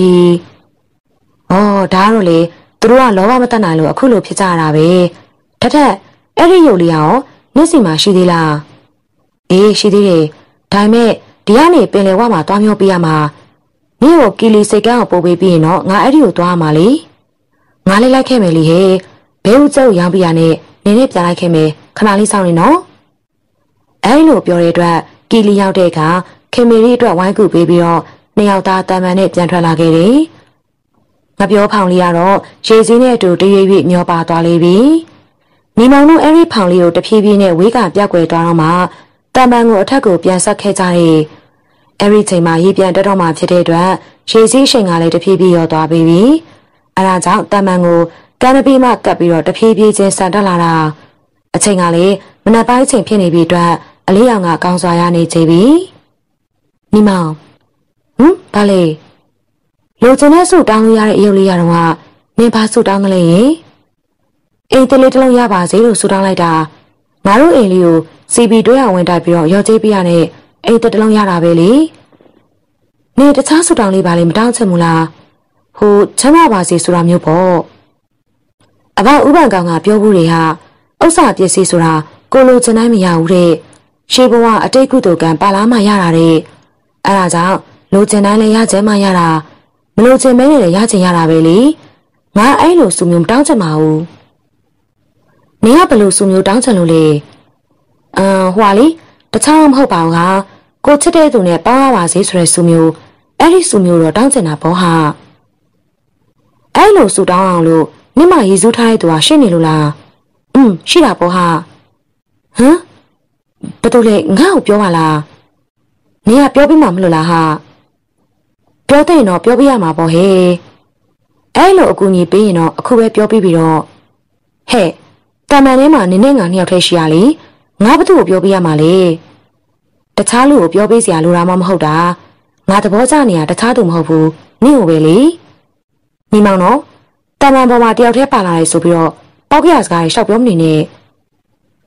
ငါနောက်နေတာမဟုတ်ဘူးအတီပြောနေတာငါနဲ့ကိုသဘောကျတယ်သိလားစိတ်ထဲကနေလဲမြစ်တာကိုရှိနေတာအဲ့ဒါနေ့ရဲ့သဘောငါသိချင်နေဟမ်